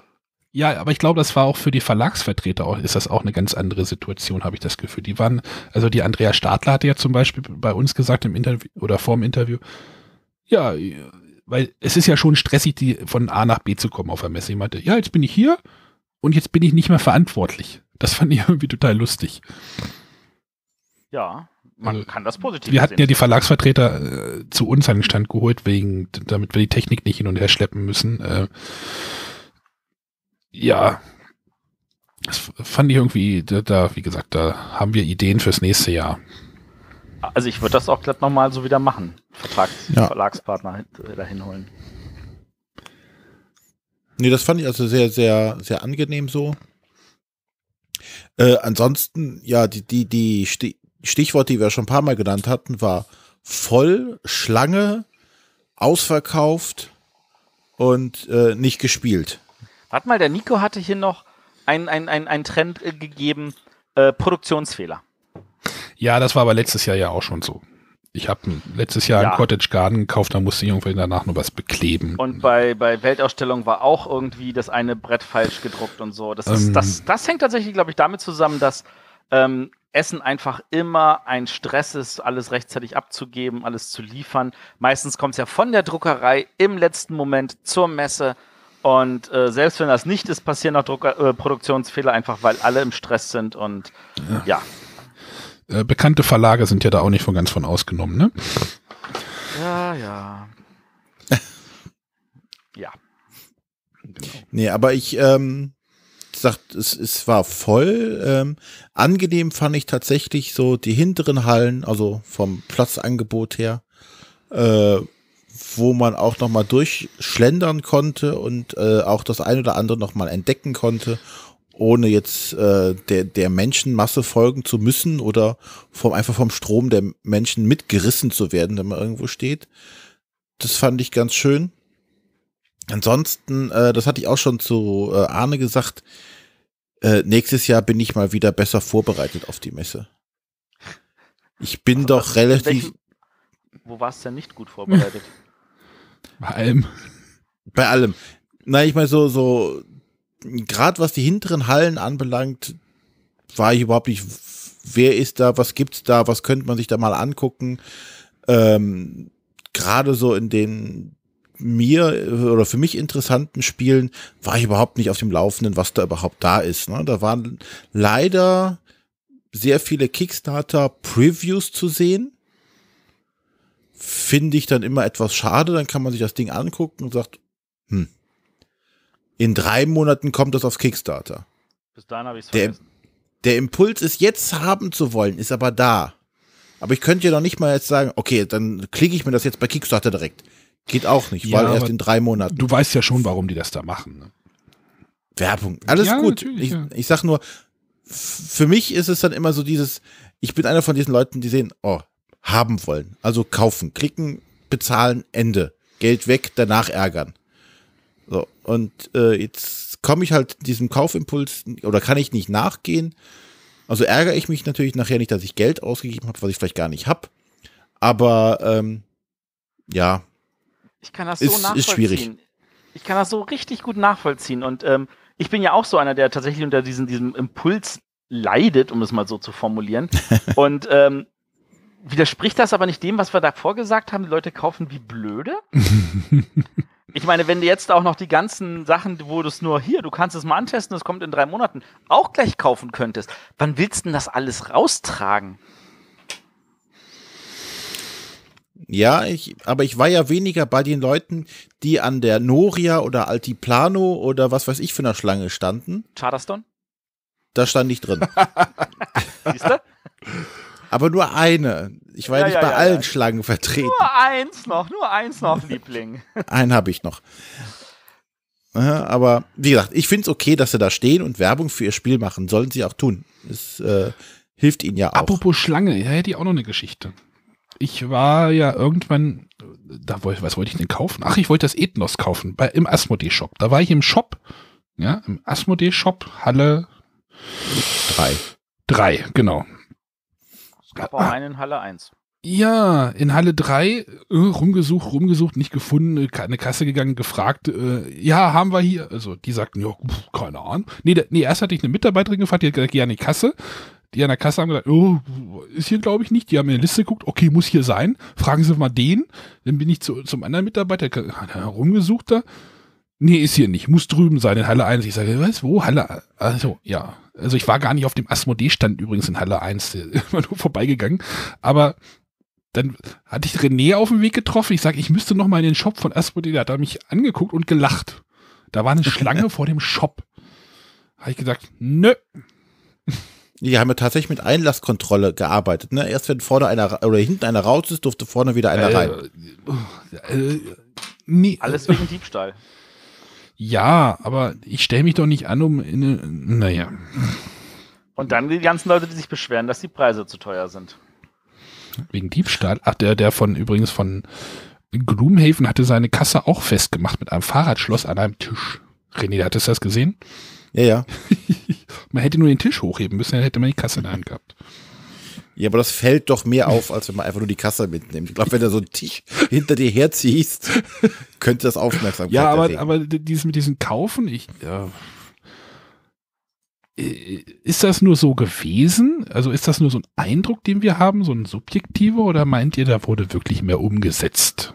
Ich, also ich glaube tatsächlich, es wurde deutlich mehr umgesetzt. Ähm, das sind wirklich viele Stände gewesen, die eigentlich jetzt mal, sage ich jetzt mal, nicht nur konservativ, sondern ziemlich äh, voluminös an die Mengen rangegangen sind und wo es dann trotzdem nicht gereicht hat. Ähm, es sind aber auch, es hängt natürlich auch damit zusammen, dass es mehr Leute sind, die kommen. Also ich meine, alleine die, die 12.000, die es dieses Jahr mehr waren als letztes Jahr, äh, die alleine, weißt du, wenn davon jeder Zwölf? irgendwie ein Ich denke, es waren 174 letztes Jahr. 172 waren es letztes Jahr, glaube ich. Und jetzt hatten man zwar hatten Ja, wir- okay, lass es 10.000 sein, aber 10.000 Leute, wenn jeder von denen ein Spiel kauft, sind das einfach mal 10.000 Spiele, die mehr rausgehen.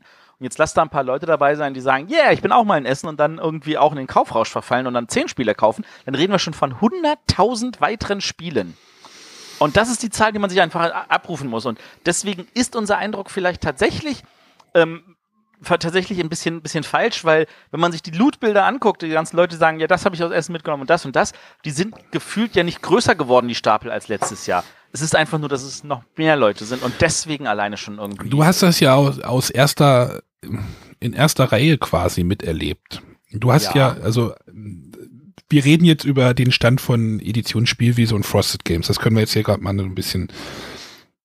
War das so zu erwarten? Also ich meine, das Noria von Spielwiese war ja schon so ein bisschen auf, auf einem kleinen Hype-Train, sage ich mal. das war tatsächlich auf dem Hype-Train, einen, den, den aber keiner von uns wirklich so vermutet hat. Ähm, ich kann das auch ehrlich gesagt nicht irgendwie in Worte fassen, wie das dazu gekommen ist. es lief ja auch noch besser als das, das neue Indian Summer von, vom Uwe Rosenberg. Ähm, wo man sich auch schon sagte, so wahrscheinlich ist das Indian Summer trotzdem noch das stärkere Spiel, aber das war halt an der Stelle nicht so. Aber es war trotzdem am Ende ausverkauft, weil auch da natürlich äh, mit Nachchargen am Wochenende und ähnliche Sachen, das einfach alles weggegangen ist. Und ähm, also es wurde tatsächlich, also ich, ich es es wurde halt wirklich viel gekauft. Und ähm, wenn du natürlich noch gutes Verkaufspersonal da hast und weißt du, da kommt einer und sagt, ich hätte gern das, dann sagst du, ah ja, willst du auch noch das und das haben? Dann guckt er kurz drauf und sagt so, ja, nehme ich auch noch. und dann hast du schon mal automatisch statt einem Spiel drei verkauft. Ähm, einfach nur, weil das eine hat noch einen Zehner gekostet und das hat noch einen Zehner gekostet. Ähm, und die Leute haben an der Stelle auch diesen, ihrem, ihrem Impuls nachgegeben. Ja, es war schon, war schon krass. Und René ist da, glaube ich, in so eine Anti-Haltung verfallen, hatte ich das Gefühl. Wieso Anti-Haltung? Du hast gar nichts gekauft. Charterstone. Also ich, ich kann Alien zumindest sagen. Stimmt, Ich, mich, ich hatte mich sehr ausführlich vorbereitet. Ich hatte mir ganz groß lange Listen gemacht und so und habe versucht, dass diese Listen kürzer sind als die Listen letztes Jahr. Und ähm, ich meine, ich habe zwar trotzdem am Ende irgendwie 60 Neuheiten nach Hause geschleppt, wobei da zum Teil auch ein paar Sachen sind, die ich mir ertauscht habe, äh, beziehungsweise die, ähm, wo, wo äh, wir Rezensionsexemplare schon vor Ort bekommen haben. Aber in erster Linie, muss ich ganz ehrlich sagen, war das auch nur möglich, weil der liebe Hevi, vielen, vielen, vielen lieben Dank, ähm, einfach losgegangen ist und gesagt hat, Matthias, was soll ich dir besorgen? Ähm, was schon mal sehr hilfreich war. Ansonsten hätte ich wahrscheinlich irgendwie nur halb so viele Spiele mit nach Hause gebracht. Genau das gleiche hat René ja auch gemacht, nur er war der Läufer. Genau. Ja, ist doch cool, oder? Wenn man für andere Leute einkaufen geht, seinem Kaufimpuls nachgeben kann und am Ende noch nicht mal Geld ausgegeben hat. Schon gut, ja. Übrigens, ich habe jetzt meinen King Domino Turm. Ja, der ist cool. Ja, hat nur drei Euro gekostet, fand ich richtig nett. Ja, ist doch schön. Ja.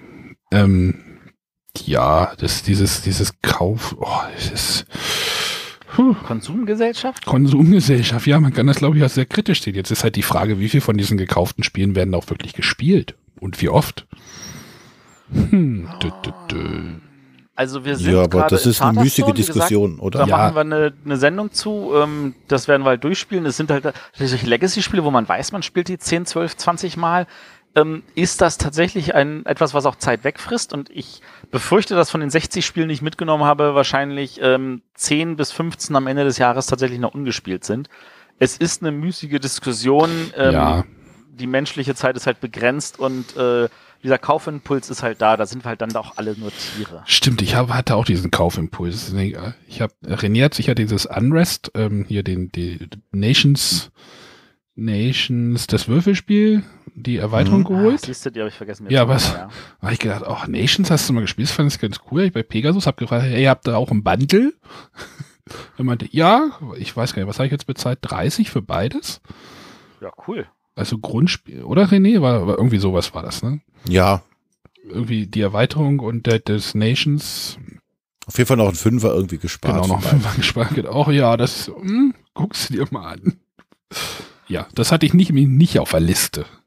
So, hier sagt einer im Chat noch gerade, Coaster Park war Donnerstag morgen am Stand ähm, zum Anschauen. Ähm, also, Coaster Park ist tatsächlich so, das hat der liebe Per Silvester schon wieder verkauft. Ja, genau, das äh, Spiel soll nicht so der Bringer sein. Ja, ich da hatte war mich aber sowieso der Hype trotzdem gut genug. ich hatte mich ja bei dem Spiel grundsätzlich gefragt, das war ein Riesenhype und alle sagten so, oh, das ist total, das muss total cool sein. Und dann dachte ich mir, hm, es hat vorher keiner geguckt, ob das überhaupt, überhaupt funktioniert. Ja, Ja. man schiebt die so ineinander irgendwie, habe ich jetzt gesehen in einem Ja? Video. Es reicht ja einfach nur, wenn es einfach produktionstechnisch überhaupt nicht funktioniert, dass da diese Murmel überhaupt gut rollt oder dauernd runterfällt oder das ganze Teil dauernd zusammenbricht, so fiddelig wie das vielleicht sein mag. Das, da fand ich, war ich jetzt echt überrascht, wie sehr das da abgegangen ist. Ja, aber also wenn das, also ich, ich glaube, der Verlag wird aber damit sich wirklich keinen Gefallen getan haben, wenn das wirklich so schlecht ist, wie der Per sagt. Ähm, weil das tatsächlich dann dafür sorgt, dass die Leute wahrscheinlich in Zukunft sagen, naja, ist schön, dass du dir da eine tolle Idee gemacht hast, aber äh, du hast letztes Mal schon nur Rotz geliefert und dann, Ja, das äh, kann halt ganz na, doll nach hinten im, losgehen. Im Chat wird, Ja. wird auch ja gerade angemerkt, dass, das, dass man das Spiel gar nicht sehen konnte, wie es funktioniert da auf der Messe. Es wurde einfach nur halt verkauft oder dann halt nicht mehr verkauft, sondern noch die Schachtel hingestellt. Aber ein funktionierendes Spiel gab es nicht am Stand, oder? Nein? Scheinbar nicht. Also ich war, ich meine, ich hatte ja Auch keine krass. Zeit, mir das anzugucken. Ich war, ich war einmal hinten, aber ich habe die, hab die, hab die Schachtel halt gesehen, wo halt irgendwie Sold Out drauf stand. Aber das Spiel hatten sie nicht äh, aus, ausgestellt. Was schon so ein bisschen, auf einer Neuheitenshow war es auch nicht, oder? René? Nee, da war aber auch nicht jeder. Ja, aber da hätte man es vielleicht auch schon mal so mal die Kugel runterrollen lassen können. Hm. Ach, die Optikblender. Ja, das ist äh, genau die Grafikblender, sagt der äh, Arne immer so gerne. Ähm, ich glaube auch tatsächlich, also mich hat das Spiel auch schon vorher nicht angemacht, weil ich mir dachte, hm, ein Spiel, wo man irgendwie Kullerbahn spielt, da nehme ich lieber dieses eine Kullerbahn-Spiel von Ravensburger. Das ist ja für mich an sich, also das fühlte sich für mich auch nicht nach Spiel an vom Lesen der Anleitung. Und von Ach Hartz. genau. Da, wo du gerade Kullerbahn sagst. Ähm, Oh. Äh, Ich kommt war ja auch, Kommt jetzt der äh, Rent? Na, nein, Mitte des Jahres äh, kam ja irgendwie von Ravensburg. Nee, das war zur Spielwarenmesse. Ja, oder dann schon kam so eine E-Mail ins Haus geflattert. Hier, unsere neue Kugelbahn, Gravitex, mit einem sehr geil gemachten äh, Promo-Video, wo die Kugeln da durch die, über die Bahn fliegen und geschossen werden. Ich sag so, oh, geil, eine coole Kugelbahn, muss ich haben. Dann waren wir auf dem Ravensburger Event. Ja? Und da war sie nicht. Dachte ich, verdammt. Dann sind wir mal zum Stand gegangen und haben uns das mal angeguckt. Und ähm, da muss ich sagen, da war ich sehr ernüchtert von dieser Kugelbahn. Ähm, das sieht alles nett aus und funktioniert auch bestimmt äh, ganz gut. Aber für Kinder war es sehr fummelig und sehr wackelig und ich weiß, dass das äh, meine sechsjährige oder fast siebenjährige damit auch einfach überfordert gewesen wäre. Und wir haben uns dann auch auf äh, äh, Anraten vom, vom Jürgen dann den oder die Hubelino angeguckt. Und ähm, ich bin dann auf diesen ähm, Standmenschen zugegangen und sagte, ich hätte da eine Frage. Und das erste, was er guckt mich an, sagte, ja, sind kompatibel. Das scheint wohl die erste Frage zu sein, ob diese Bahnen, die, die sehen halt aus wie Duplo-Steine, ob die mit Duplo kompatibel sind. Und das erste, was er mir sagte, sind kompatibel. Hervorragend. Und äh, Genau. dann haben wir uns eine Hubelino-Kugelbahn zugelegt und äh, Aber nur die muss- Kurve, aber nur die Bahnteile, nicht die. genau, nur die Bahnteile, weil die Bauelemente, weil wir haben hier noch so eine riesen Kiste mit Duplo-Steinen. Nicht genug. Nicht genug, wie wir feststellen müssen. Und wir haben auch nicht genug Bahnelemente, mussten wir, also wir müssen mehr Bahnelemente und mehr Duplosteine kaufen. ähm, und ich, äh, oder meine Tochter musste ha sehr hart mit mir kämpfen, dass sie auch Bahnen bauen durfte und nicht nur ich. Ja, das war sehr lustig. Ich habe das ja noch mitgekriegt. Also ihr seid ja von der Messe dann da wieder gekommen, diese Bahn oder gleich, ich, Papa, Papa, ich will auspacken. Ich will, nein, wir gehen jetzt erstmal zum Chinesen-Buffet. und danach Bodycheck, Tochter weg und ich an die Kugelbahn. genau. Nein, Nein, aber, äh, sehr schön. aber Ich die, habe keine, keine Duplo-Bahn mehr. Wir hatten eine, als meine Kinder klein waren und dieses alles schon weg. Jetzt bin ich ein bisschen verärgert, dass ich die nicht mehr habe. Naja, gut. ja, also da von dieser Gravitex da, hm, Die fand ich jetzt, also für kleinere Kinder, also so jetzt, wie gesagt, sechs, sieben, äh, nicht so geeignet. Da finde ich diese Hubelino. Vor allem, wir haben jetzt noch eine, eine Zweijährige hier rumflitzen. Ähm, spätestens die hätte das komplett abgeräumt, wenn sie einfach nur daneben gestanden hätte und geguckt hätte.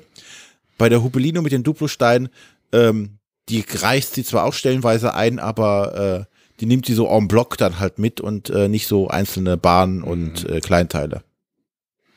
Und die Kugeln sind größer, die kann sie nicht so gut in den Mund stecken. Du gönnst deiner Tochter auch nichts. Die will doch. Ja, auch das sind alles. Sachen, über die man sich normalerweise keine Gedanken macht. Aber hat man ein zweijähriges Kind zu Hause, macht man sich auch über die Kugelgröße ein Gedanken. Schluckzylinder, sage ich nur. Schluckzylinder. Schluckzylinder? Ja, so, das ist, das ist ja eine, eine Anforderung für solche Sachen, dass die. Du hast unsere Haber-Folge nicht gehört, oder? Kommt beim Hm. irgendeinem Rückblick, glaube ich, mal wieder. Ja, ja, Dann dauert ein ich- bisschen, Dann aber- ich den Schluckzylinder Ansonsten raus. an dieser Stelle, lieber René, hör doch mal unsere Haber-Folge. Ja. Ja. Ja, wollen wir noch mal gucken, was jetzt so der heiße Scheiß war. La, la, genau, wir gucken mal, was der heiße Scheiß war. Wir fangen an mit dem deutschen heißen Scheiß, indem wir einen Blick werfen auf. Die Fairplay-Liste. Und zwar nicht die, die ich irgendwann mal in einer Einsendung Ach, vorgelesen ich hatte sehe mit gerade, ich habe Dame. die, ich hab die falsche rausgekopiert, sehe ich gerade. Ja, das Ei, ist eine Freitagliste. Ja, ei. genau, Das es war ist- die falsche.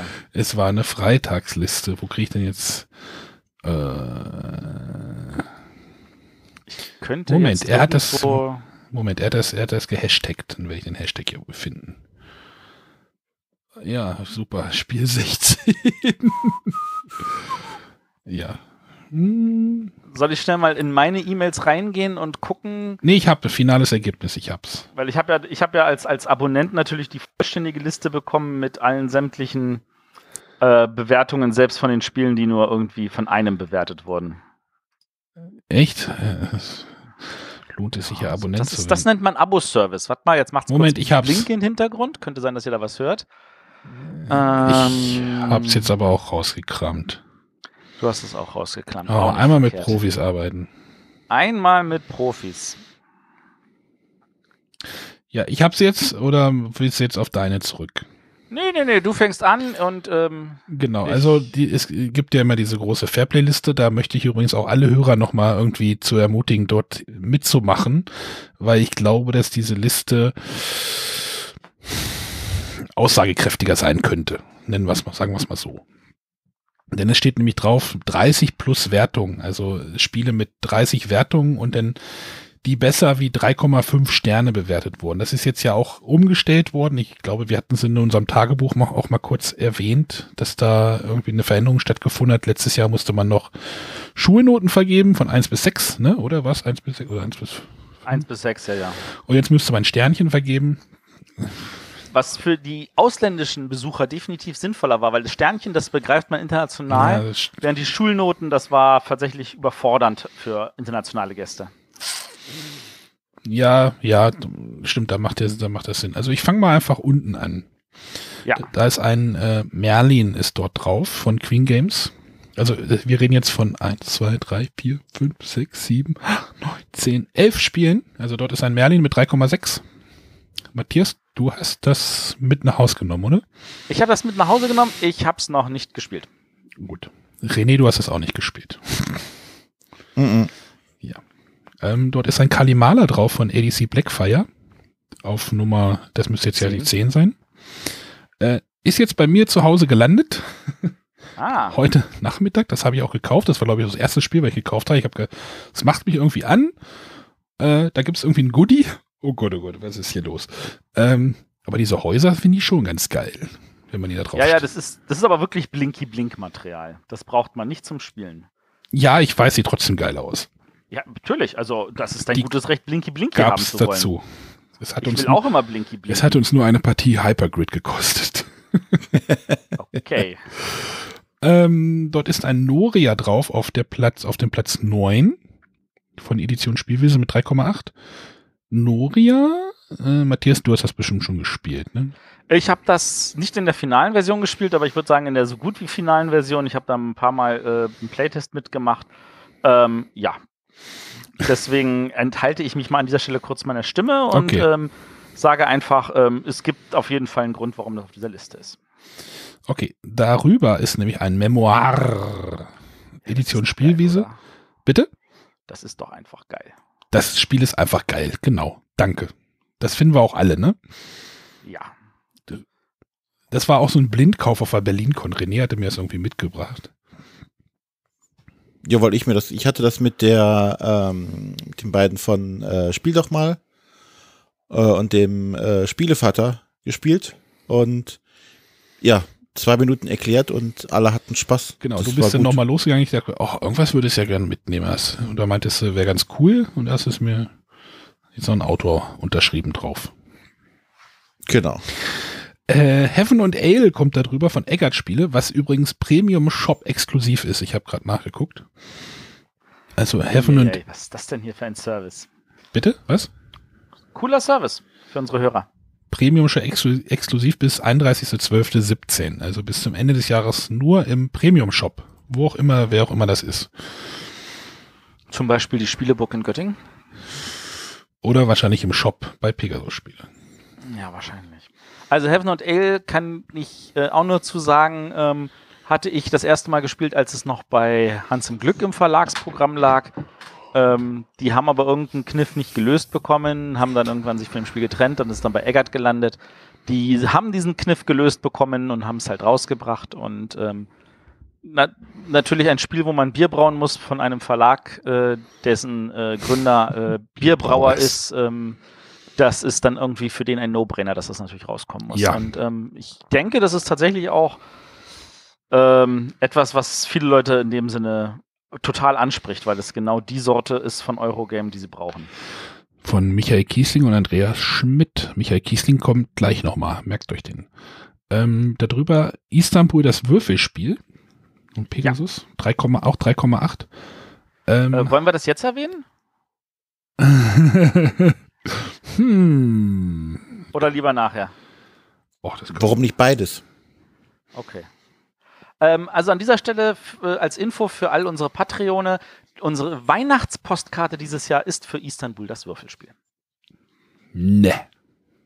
Doch. Und wie kommt man da dran? Ähm, da musst du einfach nur Patreon sein und äh, uns mindestens zwei Euro im Monat in den Kopf werfen. Genau, also ihr könnt noch, könnt noch einsteigen. Also jeder, der das ist, äh, kriegt äh, Wir So. ziehen die Liste der Leute, die sowas bekommen, aus dem System am Punkt 1. Dezember, vielleicht auch am 2. Dezember, 1. oder 2. Dezember, wird das rausgezogen, dann drucke ich einmal Dinger aus, klebe es brav auf die Postkarten drauf und dann gehen sie in die Post. genau. Ähm, ist das denn exklusiv nur bei uns oder danach denn auch bei Pegasus, weißt du? Das ist jetzt nicht wirklich in dem Sinne exklusiv. Erstmal schon. Ähm, es ist, da, also die, die, der Absprache mit den Verlagen ist, ähm, sie können das selber auch als Weihnachtspostkarte gleich an Leute rausschicken. Ist in den letzten zwei Jahren nicht in der Form passiert. Ich habe ehrlich gesagt keine Ahnung. Wir produzieren davon, glaube ich, genau 1000 Stück. Äh, wir verschicken ungefähr davon 50, 80, 100 in dem Dreh herum. Ja, Ich habe wahrscheinlich auch noch so ein 100. paar extra hier für den Fall des Falles, dass irgendwas kaputt geht unterwegs oder so. Und den ganzen Rest schicke ich an den Verlag und ich habe keine Ahnung, was die die letzten zwei Jahre mit denen gemacht haben. Vielleicht kann der Matthias Wagner oder der Christian Hildenbrand uns das mal sagen.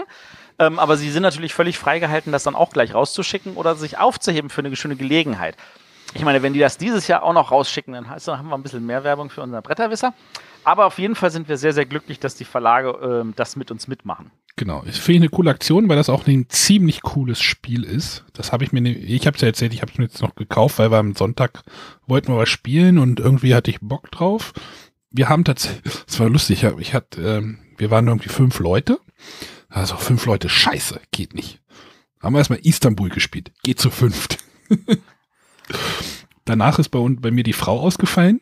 Also die, konnte, die musste dann aussteigen, weil ihr Kind irgendwie Stress geschoben hat. Dann haben wir danach dann nochmal Istanbul das Würfelspiel gespielt. Ähm, mehr dazu später, würde ich sagen. Ja. So, wo waren wir denn jetzt stehen geblieben? Bei Istanbul. Wir waren beim Istanbul Würfelspiel. Das war auf Platz äh, 11, 10, 9, 8, 7, 6. 6, 6, genau. Jetzt kommt die 5, IT Plano, die LP Ja. Games. Äh, ja, Donnerstag schon ausverkauft gewesen. Schon sehr früh. Also ich meine, der war nicht wirklich konservativ mit seinen Zahlen, aber das Ding hatte auch einen entsprechenden Hype, Ähm, weil im, im Orléans in anders. im Dice Tower Podcast, also in, in diesem Dice Tower Universum war das schon sehr gehypt und ich glaube, das zieht dann halt einfach auch international. Ähm, Ja. Es wird eine zweite Auflage geben, keine Angst. Contest, ja. Genau. Das, das Interview folgt nach dieser Sendung. Also direkt im Anschluss an unsere Aufnahme hört ihr noch das Interview, weil wir das in der äh, letzten Folge äh, vergessen haben, noch mit dran zu schnippeln. Deswegen kommt hier einfach noch mal das bisschen extra. Genau. Äh, danach auf der 4 ist Rajas of the Ganges. Die Nummer 100 von Familie Brandt. Genau. Äh, ich habe heute den Spielträumers Podcast gehört und dort äh, wurde das Spiel sehr gut äh, angepriesen. Ah, ich glaube, mein Finger hat vorhin schon fast gezuckt. Der kann ruhig zucken. Das Spiel wird dir definitiv liegen. Ja, Ich echt? hab's, ich, ja, ja, ich hab's das erste Mal gespielt gehabt in Oberhof, also letzten Ostern, und war sehr, sehr, sehr gut davon angetan und äh, muss ganz ehrlich sagen, ich meine, ich kenne, ich kenne die, die Vorgänger, also ich meine, das ist ja eine, das ist ja, da gab es zwei Prototypen, die bei Huch lagen von den beiden Autoren und ähm, irgendwie waren beide nicht so richtig und dann hat der Verlag gesagt, weißt du was, wir schmeißen diese beiden Spiele einfach mal zusammen. Und dabei ist dieses Spiel entstanden und das, das war dann irgendwie so, so dieser Knickmoment. Auf jeden Fall, so haben die da was richtig Tolles gemacht. Also die äh, Britta hatte auch richtig, richtig gute redaktionelle Arbeit reingesetzt und ähm, also die, die drei waren einfach ein köstliches Gespann und ein traumhaftes Ergebnis und das Spiel macht echt Laune. Was ich so ein bisschen, dieser Spielplan, der sieht irgendwie so wuselig aus. Legt sich das, Das im Spiel oder? Du wirst feststellen, dass der über alles andere als wuselig ist. Also das, ähm, du hast tatsächlich bei dem Spielplan, du hast auf der, ähm, du hast in erster Linie musst du die beiden äh, Zählleisten, wo du ja von beiden Seiten nicht annähern musst, am Rand. Hm? Die sind relativ gut zu sehen. Dann hast du ähm, in der Mitte eigentlich diesen Fluss. Der ist tatsächlich optisch super zu sehen.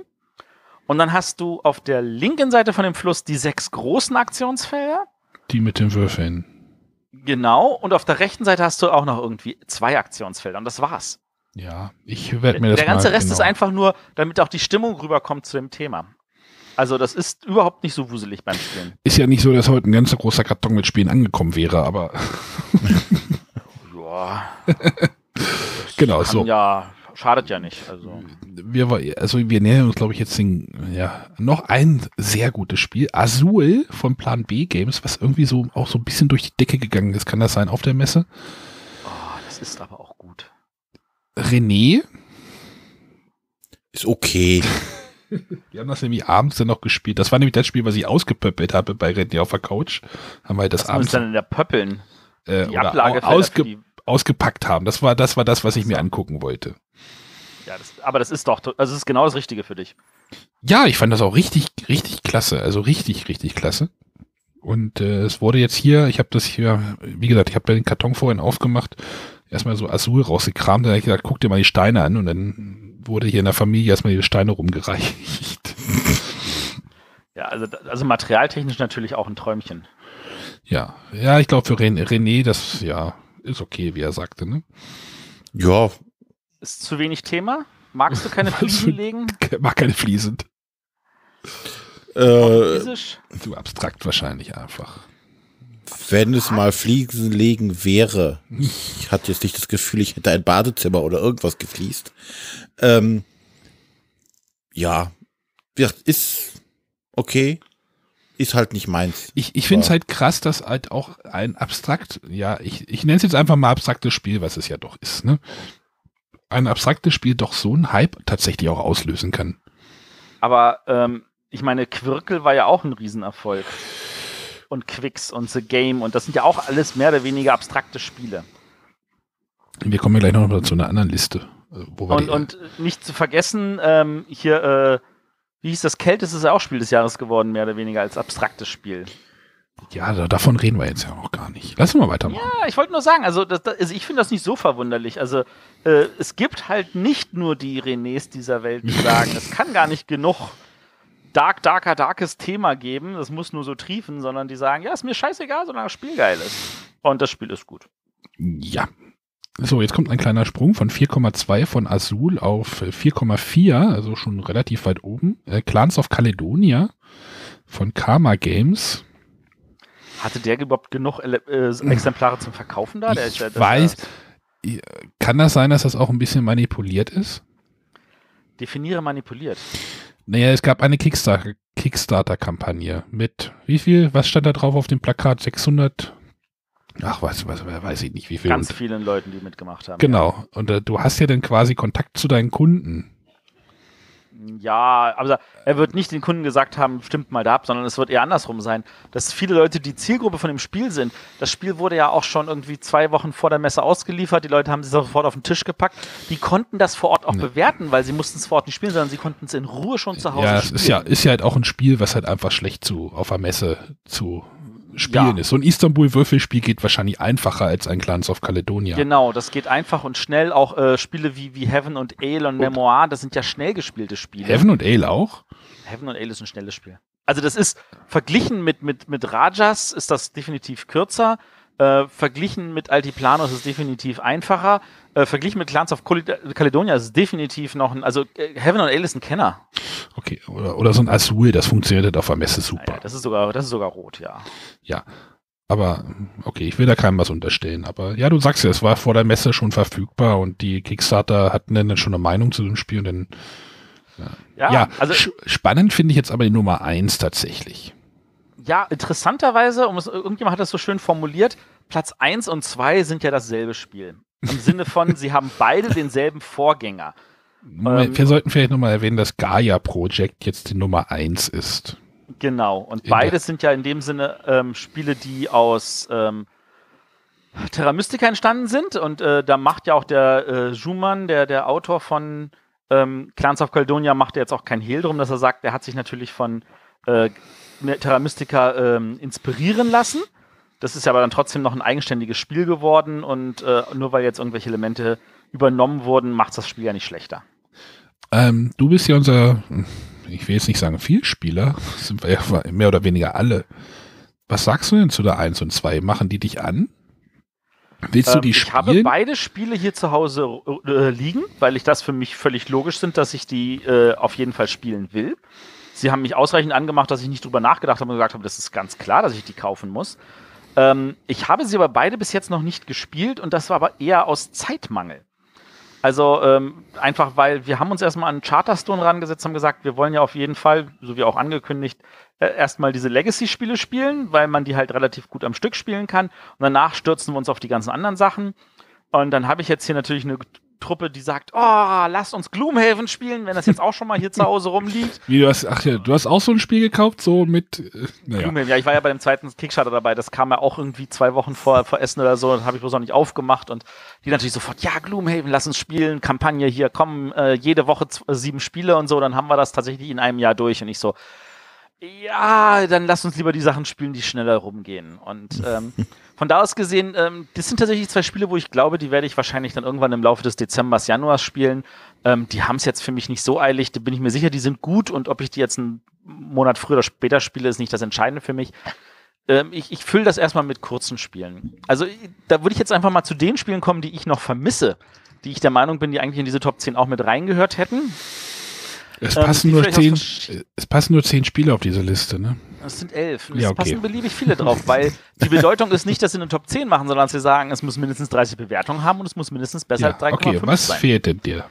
Ähm, was mir fehlt, ist also, was wir schon erwähnt haben, The Game Face to Face, weil das tatsächlich sehr schnell gespielt ist und verdammt gut ist. Und ich kann mir nicht vorstellen, dass der normale Fairplay-Leser, der da abstimmt, das nicht gespielt hat oder das irgendwie aus den Augen verloren hat. Und was mir vor allem fehlt, und das habe ich mit meiner Frau jetzt seit Essen auch, glaube ich, schon irgendwie 14, Ich weiß es, 15 ich Mal weiß, was du gespielt. jetzt sagen willst. Ja, Majesty? nein. Oh, okay. Majesty habe ich noch nicht hier. Aber Codenames Duett. ich glaube, der Codenames-Zug ist abgefahren. ganz ehrlich, das ist in meinen Augen im Moment das absolut beste Codenames, weil du es halt auch zu zweit spielen kannst.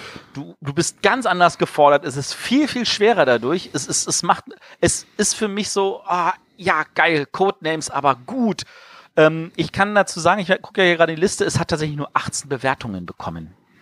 Das ist der Grund, warum es jetzt an der Stelle nicht in dem Sinne dabei ist. Ja. Äh, ja. Also Majesty fehlt mir jetzt so ein bisschen. Äh, Majesty. Ich kann ja mal kurz gucken. Ich habe ja hier eine schöne äh, Liste. Da kann ich sehen, was das der Punkt ist mit Majesty.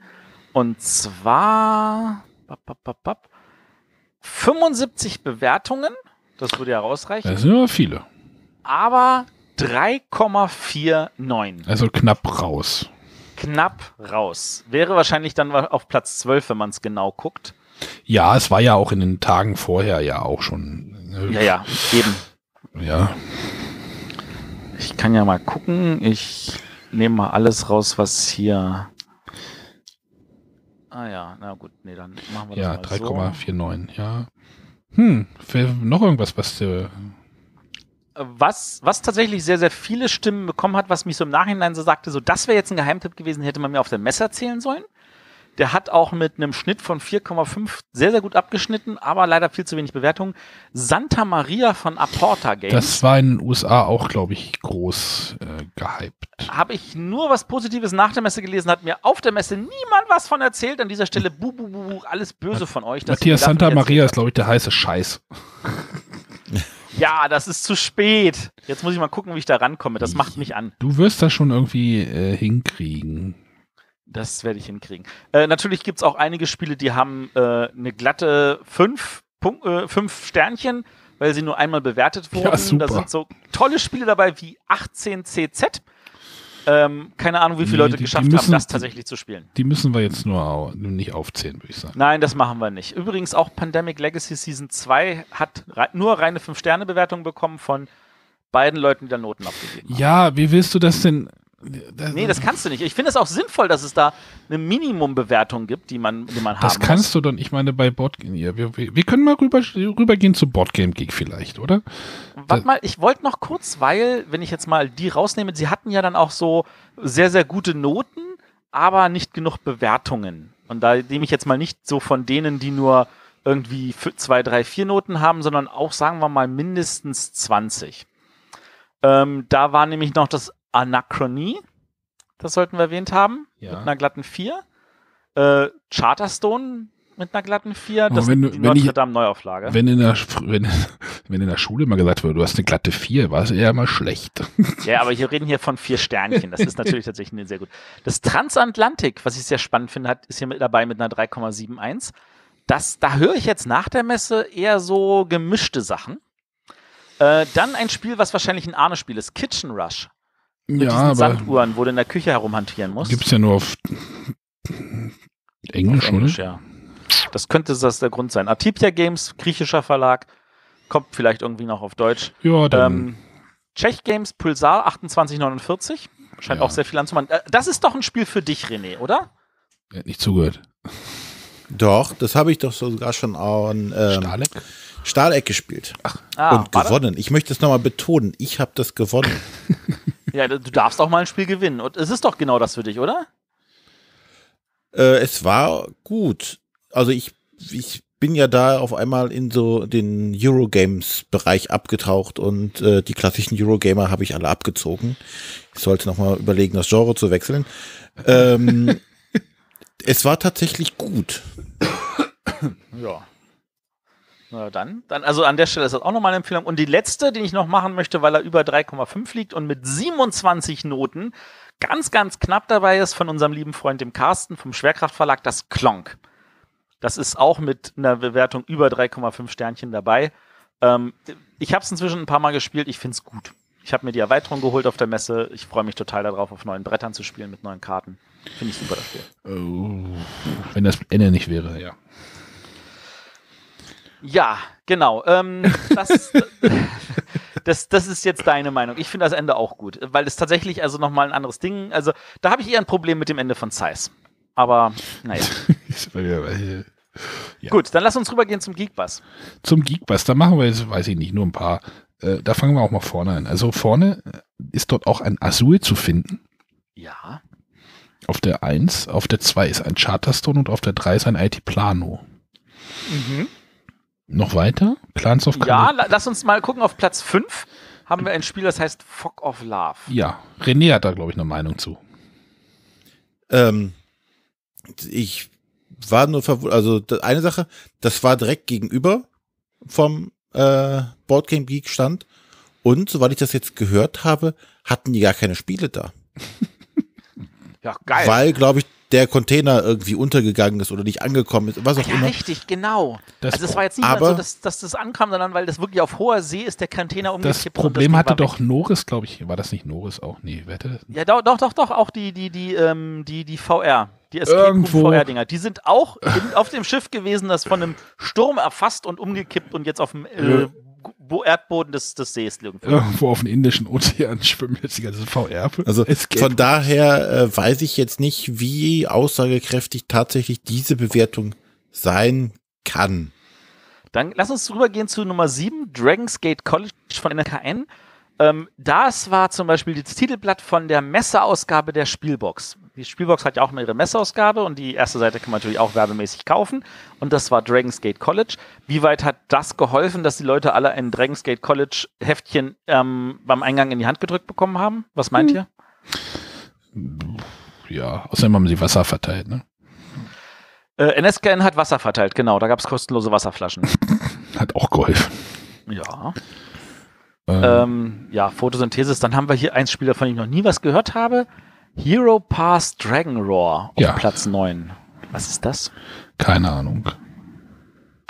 Ja, aber ich glaube, jetzt zählen wir nur noch Spiele wieder auf. Ja, stimmt, wir zählen nur Spiele auf, aber vielleicht haben ja unsere Hörer noch etwas, was sie sagen, mein Gott, das, das, dass ihr davon nichts gehört habt, das ist in den Top 10, das muss man kennen. Ähm, also zumindest bis zu den Top 10, Platz 10 ist hier Agra, das ist auch super. Äh, Finde ich, hätten wir das, können wir das halt ruhig erwähnen. Agra, dieses lustige, schräg gestellte Brett, ne? Ressourcenbrett oder was auch oh, immer. Oh ja, also. das ist auch eine schwere Kiste. Ähm, das Dragon Castle finde ich übrigens noch spannend von Horrible Games. Ähm, ja, jetzt sind wir aber wieder quasi ne? wie in der, wie in der Messe-Vorschau, nur in der Nachschau. 10, 11, 12, 13. Ah ja, cool. 44, ja. okay. Hab mal kurz durch. Ja, dann lass uns jetzt mal um die Messe das berühmte Schleifchen machen. Denn wir haben ja noch, noch was anzusprechen und äh, sind ja schon wieder länger geworden, als wir eigentlich geplant haben. Hm, so, ich, ich, sag, ich sag zu meiner Freundin immer, es wird nicht so lang heute. Hm, ja. Ja, ja. ja, wie meiner Frau auch gesagt. ja, ähm, aber das war's dann zur Messe. Oder hat noch einer jetzt was ganz Wichtiges mitzuteilen und er platzt ansonsten? Ja, und zwar ganz wichtig. Ich wusste Die es. Spiel 2018 findet statt vom 25. bis zum 29. Oktober. Wer sich das noch nicht in seinen Kalender geschrieben hat, bitte jetzt reinschreiben. Ja, ach René, dein Bild ist jetzt übrigens auch im äh, Ravensburger Archiv gelandet. Also von dem Stupido? Stu Stupido, ja. Alles klar. Sehr schön. ja. Genau, also ja. Gut. Wir wollen jetzt, glaube ich, das Buch. Genau, jetzt wollen wir noch mal ein bisschen die, die, die Werbetrommel für uns rühren, beziehungsweise noch ein bisschen äh, erzählen, was wir äh, im Jahr 2018 auch noch ein bisschen planen. Äh, und zwar wollen wir ein bisschen äh, das Thema Patreon noch mal ganz kurz beleuchten, wie unsere Pläne da sind, was wir dann noch vorhaben. Denn äh, ich denke, mittlerweile haben wir einen guten Stand an Patreon erreicht und äh, Mhm. wir wollen dann noch ein bisschen mal was tun. Erstmal vielen Dank nochmal an alle, ne? Also das sollten Genau. wir erst als erstes sagen. Alle, die uns da unterstützen, alle, die uns äh, auf der Messe auch äh, begrüßt haben und äh, sowieso generell, jetzt sind wir doch wieder bei der Messe, aber äh, wie gesagt, diese, diese Unterstützung von Patreon, wir ist, ist wirklich eine große Hilfe für uns, um das Ganze jetzt so ein bisschen nochmal voranzubringen. Und äh, erstmal, die Seite wird jetzt bis 2018, unsere Patreon-Seite wird noch mal ein bisschen überarbeitet. Und in dem Zuge wollen wir die Kampagne auch noch mal ein bisschen anpassen. Genau. Wir haben ja im Moment äh, eins, zwei, drei, vier Stufen, in denen man uns unterstützen kann. Eigentlich ist ja die Wahl der Stufe oder wie viel Geld man unterstützen kann, ist ja frei wählbar, aber wir haben halt so Stufen und wir wollen halt das Ganze noch mal ein bisschen vereinfachen, weil wir festgestellt haben, die eine Stufe ist ein bisschen, hm, die brauchen wir Ja. nicht. Die, ja, die, doch, die war eigentlich schon spannend, aber wir werden diese 7,50 Euro Stufe, äh, die wird gestrichen und wir wollen das auf 2, 5 und 10 jetzt ähm, verschlanken. Ich weiß gar nicht, was passiert, wenn ich die rausnehme bei Patreon, was mit den Patreonen passiert. Ähm, ich habe keine Ahnung. Äh, Ich gehe davon aus, die landen dann einfach nur, als sie unterstützen. Ähm, aber das kann ja jeder nochmal prüfen, kann bei der Gelegenheit überlegen, ob Genau. er seinen, seinen Wert anpassen Ich, ich werde die einfach anschreiben. Genau. Das, die haben wir ja, das war ja auch so eine limitierte Stufe, weil das war diese Stufe mit Ich komme in die Sendung. Jetzt hatten wir zum Beispiel einen Patreon, der auf dieser Stufe sitzt, der ähm, ähm, nicht mit in die Sendung wollte und jetzt haben wir uns das Ganze zum Anlass genommen, mal das Ganze nochmal zu überdenken. Ähm, genau. Also es wird dann nur noch 2, 5, 10 geben. Wollen wir die Stufen vielleicht nochmal ein bisschen ähm, Ja. erläutern oder steht das alles? Ja, mach mal. Also die, die Zweierstufe, jetzt muss ich erstmal ein bisschen hier mich gerade hinsetzen. Es geht ums Geld. Ähm, für, die, für alle Leute, die jetzt uns zum Beispiel bei, bei für die Zweierstufe unterstützen, wir haben jetzt einen Slack-Kanal. Was ist Slack? Slack ist, äh, wie nenne ich es denn? Ein Echtzeitforum oder ein Echtzeit-Chat?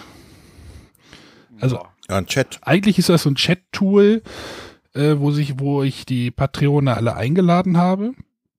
Und dort kann man sich jetzt so ein bisschen unterhalten. Es ist auch ein bisschen, es ist äh, rege, rege aktiv.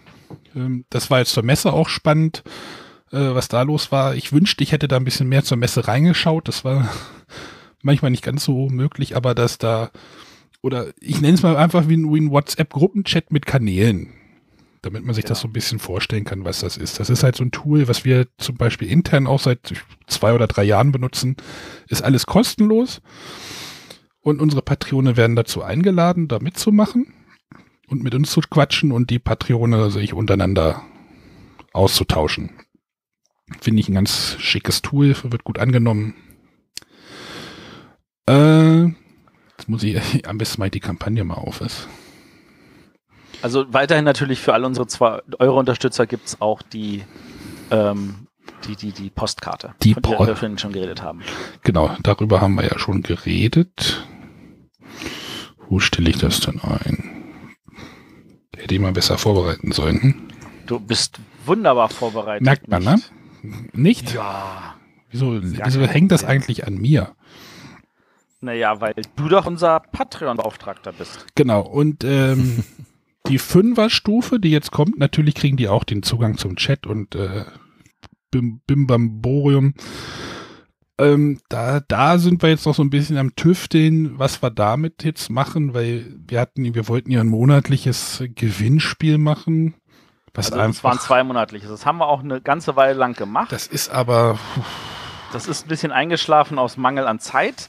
Ähm, ich werde bei ein paar Verlagen noch mal kurz hausieren gehen und ein paar Gewinne einsammeln, die wir unter allen, die uns bis jetzt auf der Stufe unterstützt haben, noch mal dann so als ku- kurzes Abdings, äh, Abschied verlosen von Und dieser Stufe. überlegen wir, ob's, ob wir einfach eine vierteljährliche Verlosung. Also wir haben da eine Idee mit einem kleinen Konzept, was wir machen, aber die Fünfer, die kriegen dann regelmäßig Verlosungen an den Kopf geworfen. Ja, ich weiß jetzt nicht, ob es Verlosungen so sind. Also da würde ich jetzt tatsächlich nicht noch so, sowas versprechen, sondern also der Plan war eigentlich, denen was anderes anzugedeihen, was wir aber auch noch nicht so richtig in trockenen Tüchern haben, ähm, weil wir natürlich da wieder mehr Ideen haben als äh, die Zeit. Power, das auch umzusetzen. Ähm, aber wir wollen auf jeden Fall gucken, dass wir den Fünfern dann irgendwas anderes Cooles in die Hand drücken können als Dankeschön. Hm. Etwas, was über ein, eine Postkarte hinausgeht. Oder ein Bierdeckel. Äh, Genau. Ja, also da, da wird nochmal, die, die kriegen auch nochmal ein bisschen mehr. Genau, 7,50 Euro oder 7,50 Dollar, die werden ähm, gegangen. Nein, die werden nicht gegangen. Die, die Stufe wird dann gestrichen und äh, auf der 10er Stufe gibt es dann halt die lustigen T-Shirts, Genau. äh, die ich Wie gesagt, hier nochmal der Aufruf, alle, die keins bekommen haben bis jetzt und äh, noch auf eins warten, bitte einfach eine kurze Mail schreiben an Arne. äh, info at bretterwisser.de. Wir schicken das dann Gut. umgehend zu. Genau. Dieses Jahr im schicken Grün. Was immer ihr zu dem T-Shirt sagen wollt, Arne hat's verbrochen. Ja, ich, äh, ja. Nee, ich find's schön. Also ich Ja, vorne, ja, ich kann das ja nochmal, das geht jetzt ja gleich ins nächste. Wir möchten nämlich auch ein, eigentlich hätte ich gerne vorne noch ein Logo drauf gehabt, ein neues. Also ja, ich nicht nur du. aber wir wollen nochmal das Logo überarbeiten lassen, was wir haben, weil ich damit nicht so hundertprozentig zufrieden bin und das soll professionell geschehen. Dafür wird auch nochmal ein bisschen Geld fließen müssen. Und Ja, an dieser Stelle auch sei auch nochmal aufgerufen an unsere Hörer, wer jemanden kennt, der in dem Bereich arbeitet und äh, da vielleicht gerne was für uns machen möchte, äh, sollte ich auch bitte bei uns dann melden. Äh, per E-Mail vielleicht, Arne, an. äh, soll ich das nochmal einspielen? Info at bretterwisser.de. Nein, also es gibt da auch externe Lösungen, aber ich fä- fände das charmanter, wenn das irgendwie auch jemand wäre, der das, also, den man kennt. Also, wenn, wenn ja jetzt nichts kommt, es geht die Welt nicht unter. Wir haben schon zwei, drei Leute angefragt, ähm, auf die wir auch zurückgreifen würden. Das wollten wir eigentlich schon alles vor der Messe haben. Das war aber für die Personen nicht machbar. Und jetzt gucken wir nach, wann die halt irgendwie mal einen freien Slot haben. Aber vielleicht kann auch irgendjemand anders das vorher machen.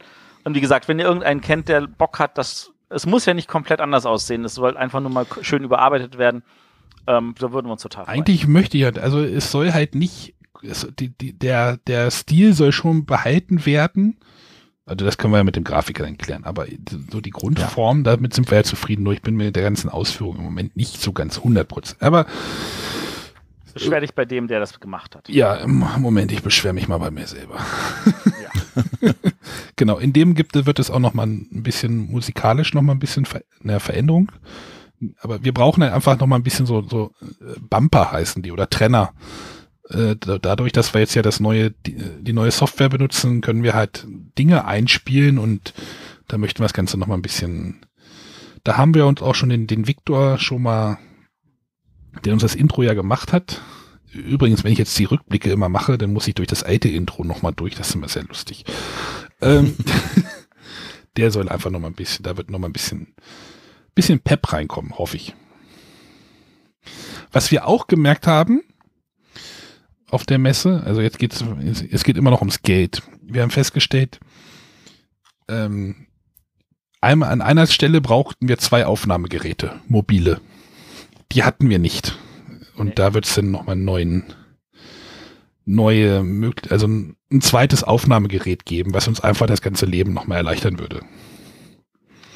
Genau, das ist der Plan. Weil René und ich waren bei Ravensburger Event und äh, Matthias war bei, am Stand und hat das Interview mit dem Carsten Reuter gemacht und äh, da lagen zwei Kilometer Fußweg dazwischen. Das ging halt Und nicht. ihr konntet dann euch zum Glück das Gerät vom Jürgen leihen. Vielen Dank, Jürgen. Ja, was wir auch gemacht.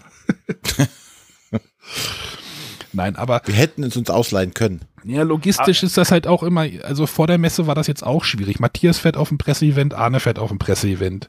René fährt auf ein Presse, also da muss das, wir haben halt nur ein mobiles Aufnahmegerät, das muss dann irgendwie logistisch immer von A nach B irgendwie und äh, ja. Ihr versteht das Problem. Genau, also da ist einfach der Plan, dass wir noch ein zweites Gerät uns anschaffen, das, ähm, das uns dann halt einfach die Möglichkeit gibt, da auch andere Sachen noch. Also, dass wir einfach flexibler sind und äh, mehrere Leute halt. Aber ich glaube, da reden wir von Mitte, äh, da reden wir wieder eher von Spiel 18, würde ich sagen. Ja. Weil das ja auch nicht so ganz billig ist. Wichtiger ist, dass der René nochmal neu bestückt wird. Genau, der hat als einziger noch kein neues Mikro. René, Audiotechnik. René ist nicht so gut bestückt. Jetzt wissen es alle. Bitte. Alle zwölf Leute im Chat. Ja. Nein, also Genau. Also Matthias und ich sind ja jetzt schon mit dem gleich, ne, fast gleichem Setup ausgerüstet. Das wird auch nochmal aufs gleiche Level gehoben und dann kommt René auch nochmal. Weil ich, damit bin ich eigentlich zufrieden, was ich jetzt so habe.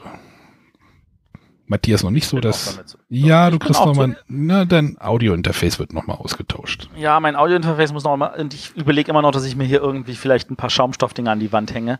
Einfach damit der Hall bei mir noch mehr nachlässt. Welcher Heil? Genau, du haltst überhaupt Du nicht. heilst doch gar nicht mehr. Ja, doch, gefühlt schon, finde ich. Hör dir mal die alten Aufnahmen an. Ja, ich weiß. Die Kathedrale ist weg. Du kannst ja auch einfach einen Wäscheständer über deinen Computer stellen. Und dann, Hatten wir nicht irgendwie, äh, wir waren aber eigentlich gerade noch bei den Stufen, oder? Hattest du schon irgendwas zur 10-Dollar-Stufe gesagt? Da bleiben wir bei dem T-Shirt, nicht wahr? ja, Hatten wir erwähnt. Und, na, und natürlich alles alles, was da drunter liegt, natürlich auch. Ne? Ja, das ist so dann bei mir untergegangen. Also, Hatte ich gesagt. na, du bist aber auch gesprungen diesmal wie. Wieso, von 2,5 auf 10, ja.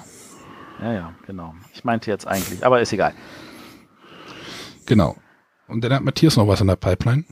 Oder? Genau, ich habe was in der Pipeline. Ich Das glaub, hatte steht noch, ne? Ja, ja, das steht noch. Ja, ja, das sind, die ersten Folgen sind ja schon aufgenommen. Wir müssen Ähm, nur gucken, wie das technisch funktioniert. Da muss ich mich dann nochmal reinfuchsen. Das wollte ich jetzt alles nach der Messe halten. Genau, das ist, ähm, das sollte, eigentlich hätte jetzt auch schon ähm, irgendwas davon online gehen sollen. Äh, das tut's jetzt wahrscheinlich dann in den nächsten Wochen. Ja. Ähm, genau, ich habe eine Top 100 gemacht. Ähm, Dö, dö, dö.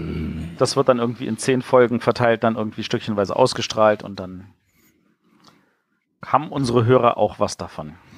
Und bleibt halt erstmal auf dem Patreon-Channel exklusiv. Genau. Keine Ahnung, ob das sinnvoll ist, dass wir es exklusiv machen. Wir werden mal gucken, was unsere Hörer dazu sagen. Ähm, Genau. Aber ich wollte ja auch Videos exklusiv machen, aber ich hatte so viel Spaß bei den Messevideos. Ich werde diese äh, Arne Spiels Reihe fortsetzen. So, so kleine Videos, fünf, fünf Minuten, ja, fünf bis zehn vielleicht, ja, wahrscheinlich eher fünf, wo ich mir einfach mein Handy schnappe. Das hat auf der Messe eigentlich ganz gut funktioniert. Ich habe mir jetzt noch so ein Shotgun-Mikrofon fürs Handy, ja, das ist kompliziert, das kommt morgen. Ähm, und dort gibt's weitere Videos von mir auf unserem YouTube-Kanal. Was haltet ihr denn davon? Frei für alle. Ja. Wenn man schon von Wir Kinderspielen, räumen jetzt die YouTube-Szene von hinten auf. wenn man schon von Autoren angesprochen wird, dass die Videos cool sind. Gott, oh Gott, oh Gott. War mir ein bisschen unangenehm. Stupido kann uns beiden ja auch nichts nach passieren. Stupido, nach Stupido ist. Moment, Moment. Moment, du, du hast das, hast du das letzte Video gesehen aus der Reihe? äh, ja. Ja, mit der, mit der Bemalung, die ich im Gesicht hatte. Ja, Also, diese Messetagebuchreihe war ein, äh, ein Quell der Freude, würde ich sagen. Ich hoffe, unseren Hörern hat auch das immer. auch genauso viel Spaß gemacht wie, wie euch. Und zwar äh, nichts peinlich. Genau. jetzt sowieso nicht mehr. Das Nee. ist ja auch, ihr habt ja schon vier Jahre mich ertragen müssen, da kann nichts mehr peinlich werden. Nein, aber Matthias, hast du die denn gesehen? Also du warst ja da jetzt Ja, ganz, das war ja so ein Projekt von mir und René und Ja, naja, ja, ich habe mir die alle. Ich, ich fand das total toll, auch, auch was zu haben, was, wo, wo- wo ich einfach mitkriege, was ihr macht. Also ich fand das super. Und also, äh, das muss jetzt nicht jeden Tag sein oder so, aber wenn du ab und zu dir einfach Nein, das Kamera so setzt und einmal drei Minuten Video machst oder so, finde ich super. einmal die Woche oder sowas, was ich gespielt habe oder wenn ich was gespielt habe, dann soll da irgendwie was kommen. Wie gesagt, Arne Spiels würde ich nennen. Hatte ich ja schon zwei Folgen gemacht, aber das wird noch mal ein bisschen Genau. Mach da noch ein bisschen. ich, ich probiere mich da einfach mal ein bisschen aus, weil äh, Schreiben ist ja irgendwie äh, 2014. Sagte der Herr, der tatsächlich äh, toten Baum irgendwie mitgebracht hat von der Messe. Toten Baum. Ach, das Buch. Nee, das Buch ist noch bei René. Ach ja, vielen Dank an den Sven Ja. für das. Ähm, Moment, wie hieß es denn jetzt? Verdammt. Heavy Metal. Heavy Metal. Nee, Heavy Metal. Metal Heroes. Metal Heroes. Heavy, Metal, Heroes. Ja, genau. Da werde ich mich mal irgendwie reinfuchsen, mal gucken. Gut, ich denke, wir machen hier einfach trotzdem mal unseren Schlussstrich drauf. Also einen Genau. Deckel drauf und ein Schleifchen drum. Und Also wir haben, ich wollte, nur sagen, wir haben viel, wir haben, wir haben Ideen, wir haben, wie gesagt, die Patreone unterstützen uns da in den Ideen. Äh, ohne euch würde das nicht so vorwärts gehen, weil ähm. Und ich hoffe, dass ihr da auch was von habt. Halt, also wie gesagt, die technische und äh, technische, allein schon die technische Ausstattung ist schon wirklich hilfreich. Und ja, durch die Patreoner konnte ihr einfach einen Zug umbuchen. Ja, Äh, ja. gut. Ähm, kurzer Ausblick, was machen wir nächste Woche? Aber wir wollten es vielleicht noch erwähnen, wo man uns unterstützen kann, oder? Äh, sag das, los. www.patreon.com Schrägstrich Bretterwisser. Ganz einfach. Und falls, falls ihr sagt, ihr möchtet, ähm, ihr möchtet uns irgendwie nicht über Patreon unterstützen, äh, schreibt uns an, wir finden da eine Lösung. Ich muss dem Rainer übrigens nochmal eine E-Mail schreiben, fällt mir gerade ein. Also es gibt da auch noch andere Möglichkeiten. Einfach direkt uns ansprechen. Wenn ihr sagt, ich habe keine Kreditkarte oder PayPal, finde ich doof oder oder oder oder. Das sollten wir vielleicht auch nochmal erwähnen. ja, das stimmt. So, jetzt darfst du die Schleife drum machen. Jetzt, jetzt darf ich sagen, was haben wir nächste Woche? Nächste Woche haben wir ein kleines Special. Ich habe ein äh, Interview geführt mit jemandem aus Gütersloh, ähm, gleich am Messemontag, also am Tag nach der Messe. Ähm, ich war da aus den verschiedensten Gründen. Auf jeden Fall haben wir mit dem Uwe Rosenberg, habe ich eine Stunde lang gesnackt. Du hast dich verfahren. Ja, könnte man sagen. Es lag auf dem Weg, aber ich habe mich verfahren. Ähm, da habe ich halt also ein, eine schöne St- 60 Minuten oder sowas äh, aufgenommen. Das werden wir dann nächste Woche als Special senden. Genau. Da könnt ihr euch dann also drauf freuen. Und in zwei Wochen, wenn nichts dagegen läuft, haben wir eigentlich dann Interview mit dem hübschen Pärchen über ein gewisses Spiel, was bei dem, bei dem Verlag mit der blauen Ecke rauskommt. Wenn da nichts dazwischen kommt. Hoffen wir einfach. Das hübsche Pärchen, damit sind wir doch gemeint, Arne, oder? Ja. Mhm. Ja, Jetzt sowas in der muss ich mir nur noch eine blaue Ecke suchen. Sollte da was dazwischen kommen, weil man weiß ja nie, Machen wir ähm, was wir das anderes. vielleicht auf irgendwie in vier Wochen verschieben müssen, dann würden wir halt entsprechend etwas vorziehen. Äh, dann müsstet ihr euch überraschen lassen. Aber ich bin jetzt einfach mal optimistisch. Denn jetzt Wunderbar. sehe ich die Zukunft positiv, denn ich bin Optimist. Naja. Gut, bevor jetzt Arne anfängt zu singen, sagen wir lieber Tschüss. Achso, jetzt muss ich den Knopf drücken. Tschüss. Matthias, willst du auch Tschüss sagen? Nö.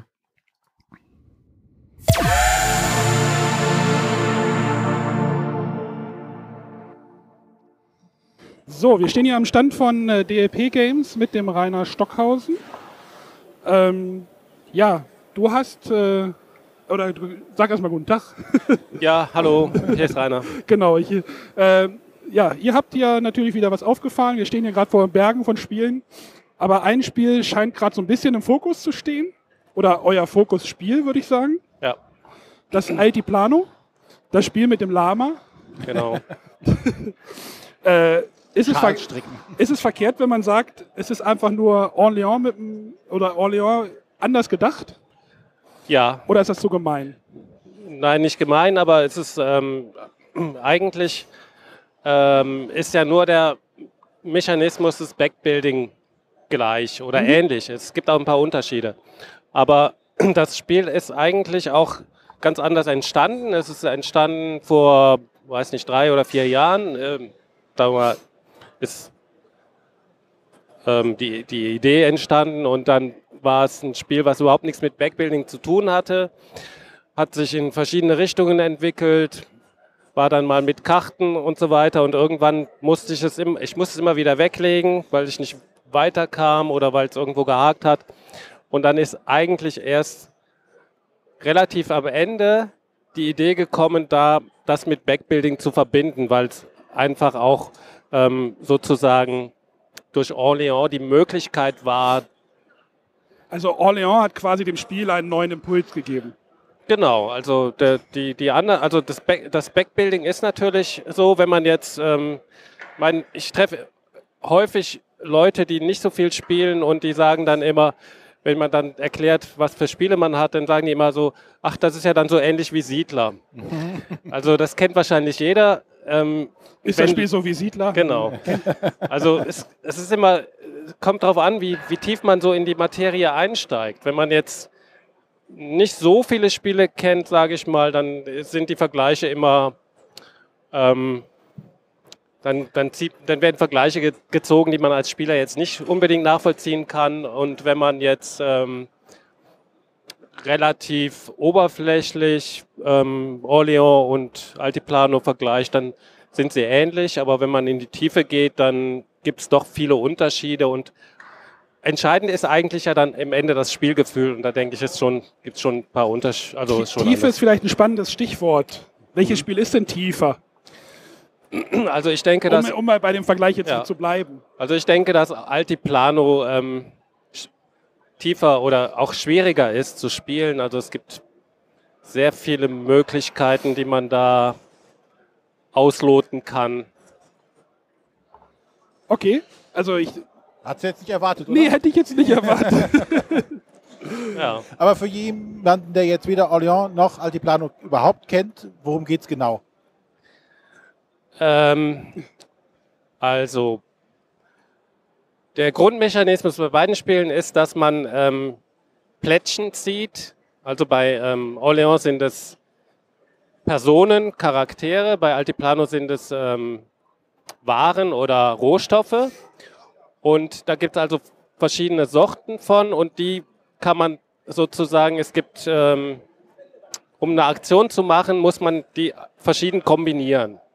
Ja, zum Beispiel ist bei Altiplano so, da gibt es also die Farm. In der Farm kann man jetzt mit einem Lama zum Beispiel eine Nahrung produzieren. Oder man nimmt ein Lama und eine Nahrung und produziert damit Wolle. Oder man nimmt eine Wolle und eine Nahrung und produziert damit Tuch. Also man kann, es geht auch bei Altiplano darum, höherwertige ähm, Sachen zu produzieren aus Rohstoffen, zum Beispiel aus dem Lama eben die Wolle und dann das Tuch. Und ähm, wenn man dann die Aktion gemacht hat, dann kommen die Plättchen, bei Orleans kommen sie direkt in den Beutel und bei Altiplano kommen sie erstmal in eine Kiste. Also das ist schon mal zum Beispiel ein Unterschied. Bei Altiplano ist es so, dass die Kiste erst dann in den Beutel geleert wird, wenn der leer ist. Das heißt, alle Plättchen kommen auf jeden Fall, die man äh, produziert hat oder die man benutzt hat, um Aktionen zu machen, wieder in irgendwann wieder zum Vorschein. Bleiben also nicht drin. Ja, das ist so der Hauptmechanismus und bei Altiplano geht es ansonsten darum, eben ähm, erstmal aus, aus Rohstoffen Waren zu produzieren, aus den Waren höherwertige Waren, die bringen Punkte. Dann kann man aber auch mit diesen Waren Aufträge erfüllen. ähm, oder zum Beispiel äh, ein Lager füllen. Da ist es dann auch so, dass nach einem bestimmten ähm, Mechanismus die abgelegt werden und man bekommt dann nur Punkte, wenn man komplette Reihen gefüllt hat. Ähm, es ist all- so bei Altiplano, dass die Plättchen immer drin bleiben. Also wenn man was gemacht hat, wenn man äh, eine, zum Beispiel einen Alpaka und eine Nahrung verwendet hat, dann werden die, kommen die nicht raus aus dem Spiel, sondern bleiben drin, kommen wieder zurück in die Kiste und dann in den Beutel. Aber eben äh, bei, wenn man einen Auftrag erfüllt, dann kommen sie ganz raus. Und wenn man das Lager füllt, dann kommen sie auch ganz raus. Insofern hat man natürlich dann auch wieder ein, ähm, Kontrolle über den Beutel, was da drin ist. Ja. Das ist schon, glaube ich, ja. Aber es macht mich trotzdem total an. Wie kam das Thema drauf? Das Thema war auch eigentlich von Anfang an so, dass ich gern, also dieses, ähm, dass es so eben in, in, einem, in der Bergwelt spielt. Ähm, war auch mal die Überlegung, so Himalaya oder was kommt. Europa war jetzt nicht unbedingt ähm, im Fokus, aber Südamerika war auch die Idee. Und ähm, ja, dann brauchte man natürlich noch einen Titel, der das irgendwie zum Ausdruck bringt. Ähm, Was bedeutet es denn? bitte? Was bedeutet es? Altiplano, Hohe- genau. Hohe Al- Ebene? Ja, al- also Ah. ja, genau. Plano, Ja. Plano kann man sich ja denken, ist Ebene, Plan und Alti ist halt hoch. Villa Riba und Villa Bajo. Nein, nein. Also die, meine, mein, meine Idee war eigentlich mal so Highlander, aber eigentlich nur vom, von der Wortbedeutung, also Highländer, aber das verbindet man eben mit Schottland und das wäre. Aber ihr habt jetzt schon so ein, so ein unique, äh, ne, die- dieses Lama, was da vorne drauf prangt. Ja, Ich sehe jetzt auch gerade T-Shirts, die ihr damit schon bedruckt habt. Das ist schon so ein bisschen, das sticht schon raus und ist halt was anderes, was ich gut finde. ja, also hat sich auch- auch gezeigt, irgendwie so, wenn irgendwo ein Lama, also die, als die ersten ähm, Entwürfe kamen, dann fanden alle total süß und Positiv lama. behaftet. Und ich glaube so vom, das ist schon ja, ein relativ komplexes Spiel, was eher vielleicht die männlichen Spieler anspricht, aber das Lama spricht Das, sehr das die, sieht die Frauen ran. genau. Immer bei Rollenklischees. Ne? Äh, aber bei Orléans geht es ja auch noch weiter. Ne? Da habt ihr jetzt ja auch noch mal nachgelegt. Ist das jetzt Ähm, dieses Jahr jetzt erschienen? Nein, das war letztes Jahr schon. Oh. das Handel und Intrige meinte ich. Gut. Das, äh, habt ihr sonst noch irgendwie was? was Also dieses Jahr ist noch Yokohama rausgekommen. Ja, das stimmt, ist das ja war im Frühjahr. in Lizenz, also keine Eigenentwicklung. Das war letztes Jahr von Japan Brand, hatten, die hatten 50 Exemplare, die waren noch äh, nach 10 Minuten, glaube ich, ausverkauft. ja. Und ähm, ist inzwischen auch schon noch bei Platz 120, 130 so etwa bei Board Game Geek. Da haben wir also die deutsche und die französische Ausgabe. Cool. Gut. Also, wie gesagt, Altiplano, das geht auch gut runter von der Zunge. So Altiplano, Ja. das funktioniert, das Kann man sich merken. kann man sich auch genau. gut merken. ich glaube, das, das Bild kann man sich auch merken, wenn man es einmal gesehen hat, ist Ja. der Wiedererkennungswert doch Genau. relativ hoch. Äh, Ich bin gespannt, also ich möchte es auch jetzt gerne spielen, trotz alledem. Und äh, ja, danke für deine Zeit Ja, und wünschen wir dir noch eine erfolgreiche Messe. Euch. Danke. Gut, hast du noch was, René? Nee, das war's. Gut, alles klar. Danke. Dankeschön. Okay, Tschüss. tschüss.